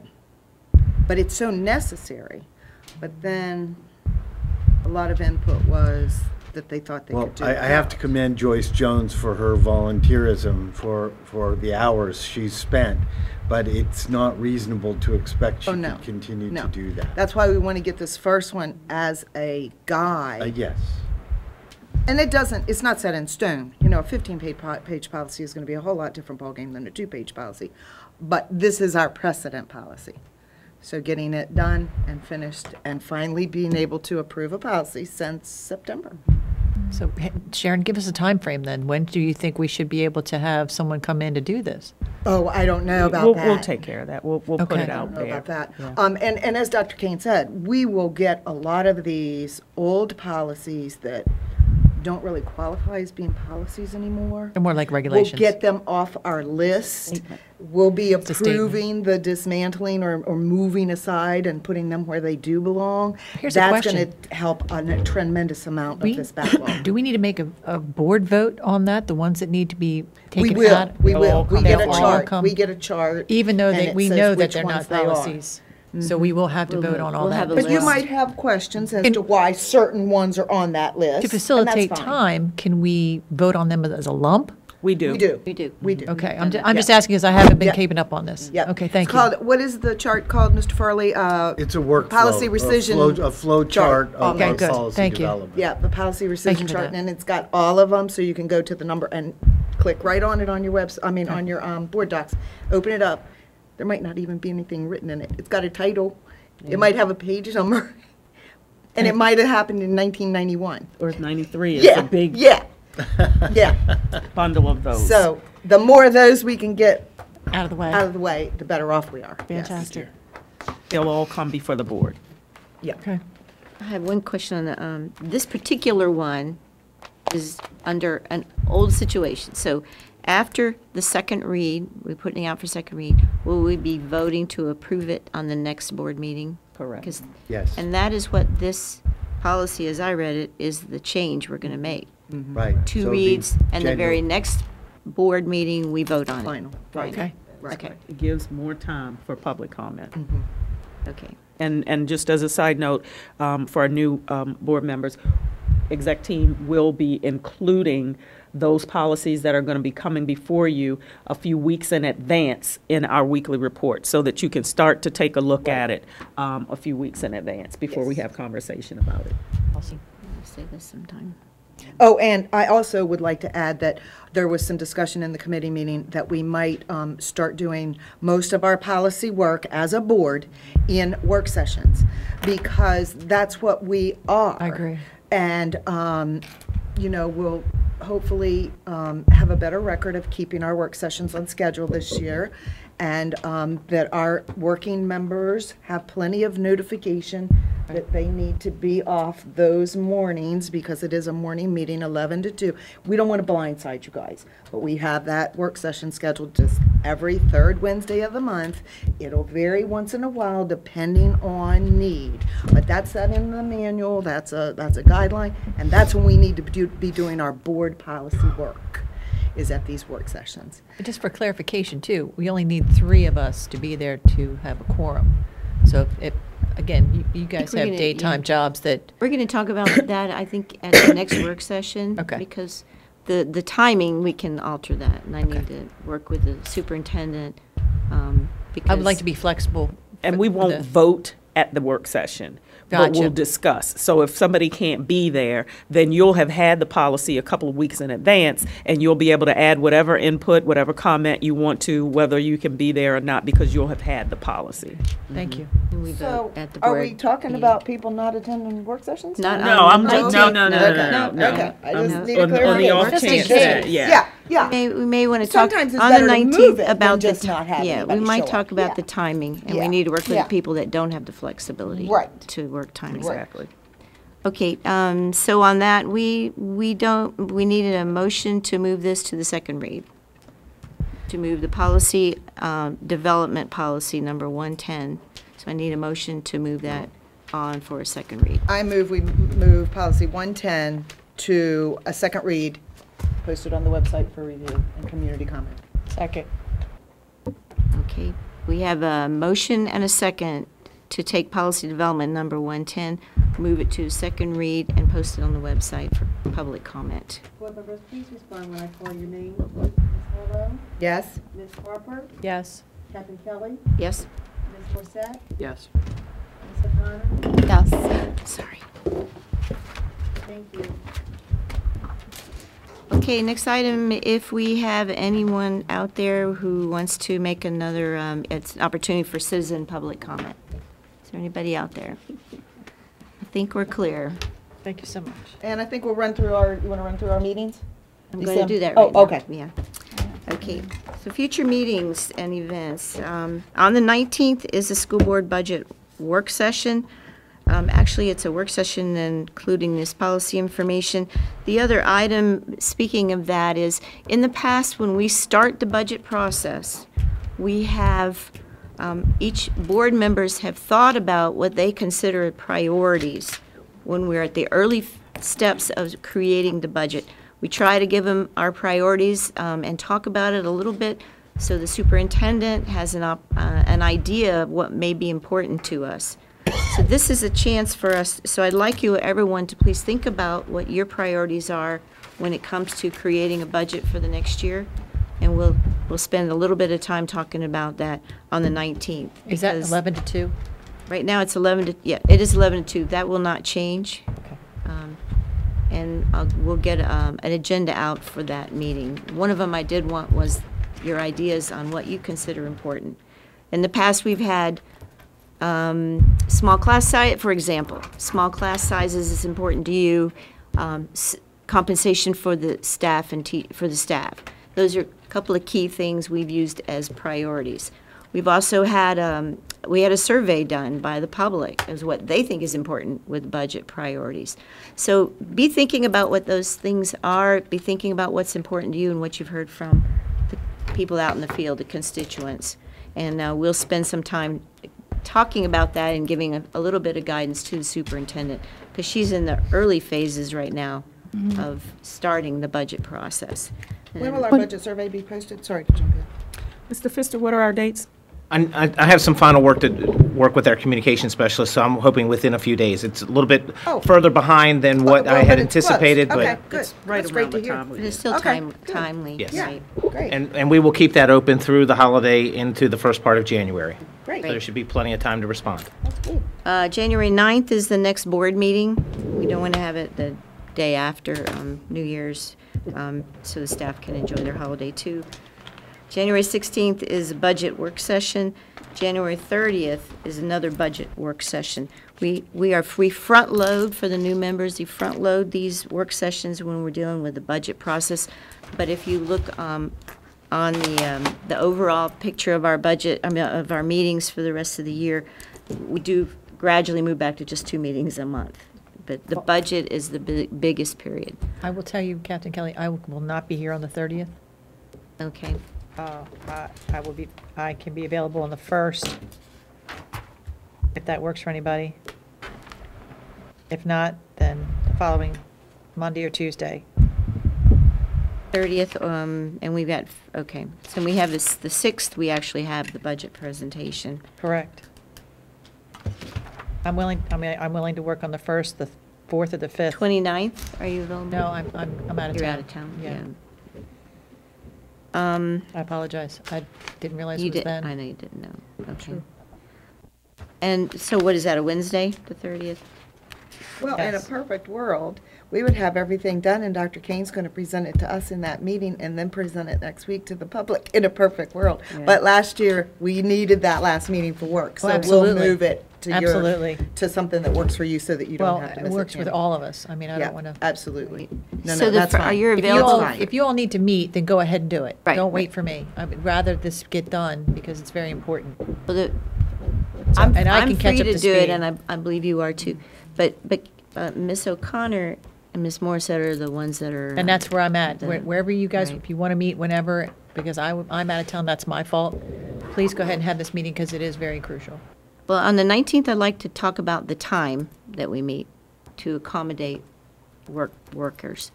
Um, And then, Ms. O'Connor, you have a little flexibility, but once you've got your schedule set, you can't. Yeah, so unfortunately, we can't continue to say, oh, let's go another hour, let's shift it, because then I have to that's reschedule clients. Right, we won't do, try not to do that at Yes, all. I appreciate that. Thank My you. question, though, now that we've said that, have you already locked in clients on the 30th of January? Um, I can't tell you very quickly without accessing my work calendar, but I can, I have enough time to move them if needed. Yeah, because, so the first would be, um, you- I think everyone could be here first. January 1st. February first. February February So 1st. I have a February. superintendent's meeting on that one. Okay. Um, Okay, And see- usually around that time, we are talking about. So Captain Kelly, critical just issues keep for it the budget. 30th. Okay, what we'll do, we'll, we'll hold it on, on the 19th when we talk about timing, maybe that And we might might be able to change. find another date, though. Okay. Yeah. But, I mean, Yeah. don't hold it up for me. I Please. understand. I- It's too important. And hopefully we'll work so well together, we won't have to hold that meeting. Eh, we're going to run through this. Okay, so we'll get back to, we'll talk about that again on the 19th. Okay, and that'll give you December time 19th to and- look at that. Okay. That's a month and a half. And. For meeting in this room for budget works, for the- any of the work we s- sessions? We do, we meet in here. Can I just get a clarification on the- what date, the date you just set for the end of December? Did you just set a date for the end of, d- no? No, I No, we're have- talking So the 30th Jan- of Jan- January, but we Jan- The haven't changed 19th it is the yet. only day. I Okay. was, I was looking at um, February 1st instead of January 30th. So January 30th, and what was the time frame? We haven't Oh. We haven't. settled on that yet, Yeah, because right. Tammy can't come. So Oh, if we can okay. all settle on another day, If- that's fine. If not, she's fine with us going ahead and doing the 30th. Please. We'll talk about it on the 19th. Yeah. I leave for Nebraska on the 19th, but I'll be here. Okay. All right, and then you'll see on the next page, February 6th, uh, is another, is the superintendent will present her recommended budget to us, and that is a formal monthly board meeting. We we do that in that meeting. The 13th is the budget work session, and the 20th of February are scheduled budget work sessions. So um, that's, and the superintendent, they're going to put not every single we, every single meeting for the rest of the year on there. You see the next thing, she has a, they have a list, that- and they're gonna have a link that goes to the whole budget for the year. So we'll- they'll only give us this, the days and the, the planned meetings, um, a couple of months in advance at the most. And then that'll save us, save them a little work. Okay. Any questions about the meetings?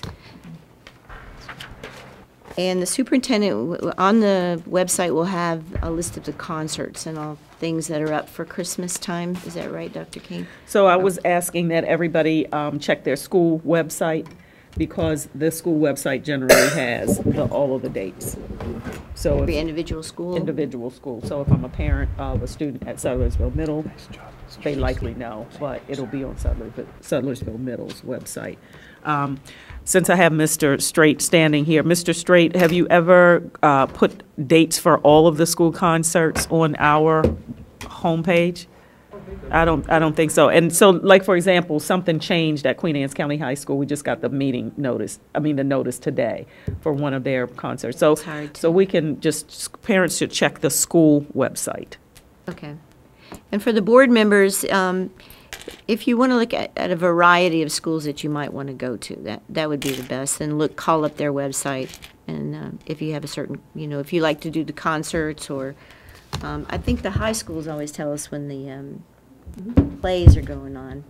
And we try to, try to hit those plays if you can. So we just, we, I encourage you all to attend as many things you can, but still, but, but still, do- you know, do things with your families and all. These are the holidays, and it's hard to, to get too much in.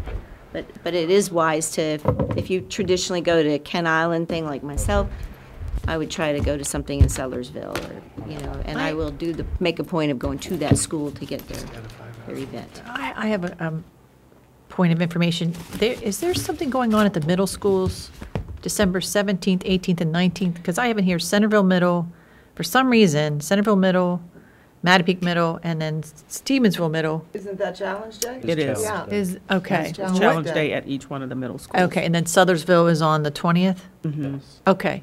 So, and then that's in the morning? Yes. And, Until two, I believe. okay, okay. Because I have it in here, and I was, I didn't know what it was for. Yeah. Okay. Neat, very neat. Okay, does anybody have anything else? And again, thank you um, for picking me as president. I will try not to let you down. Uh, Meeting is adjourned. Oh, I have a motion to adjourn the meeting. So moved. Second. That's right. Oh, Board members, please, I want to call your name. Ms. Harlow? Yes. Ms. Harper? Yes. Ms. Shelley? Yes. Ms. Morissette? Yes. Ms. O'Connor? Yes. Thank you. Okay, now meeting is adjourned. Thank you. Thank you all for coming.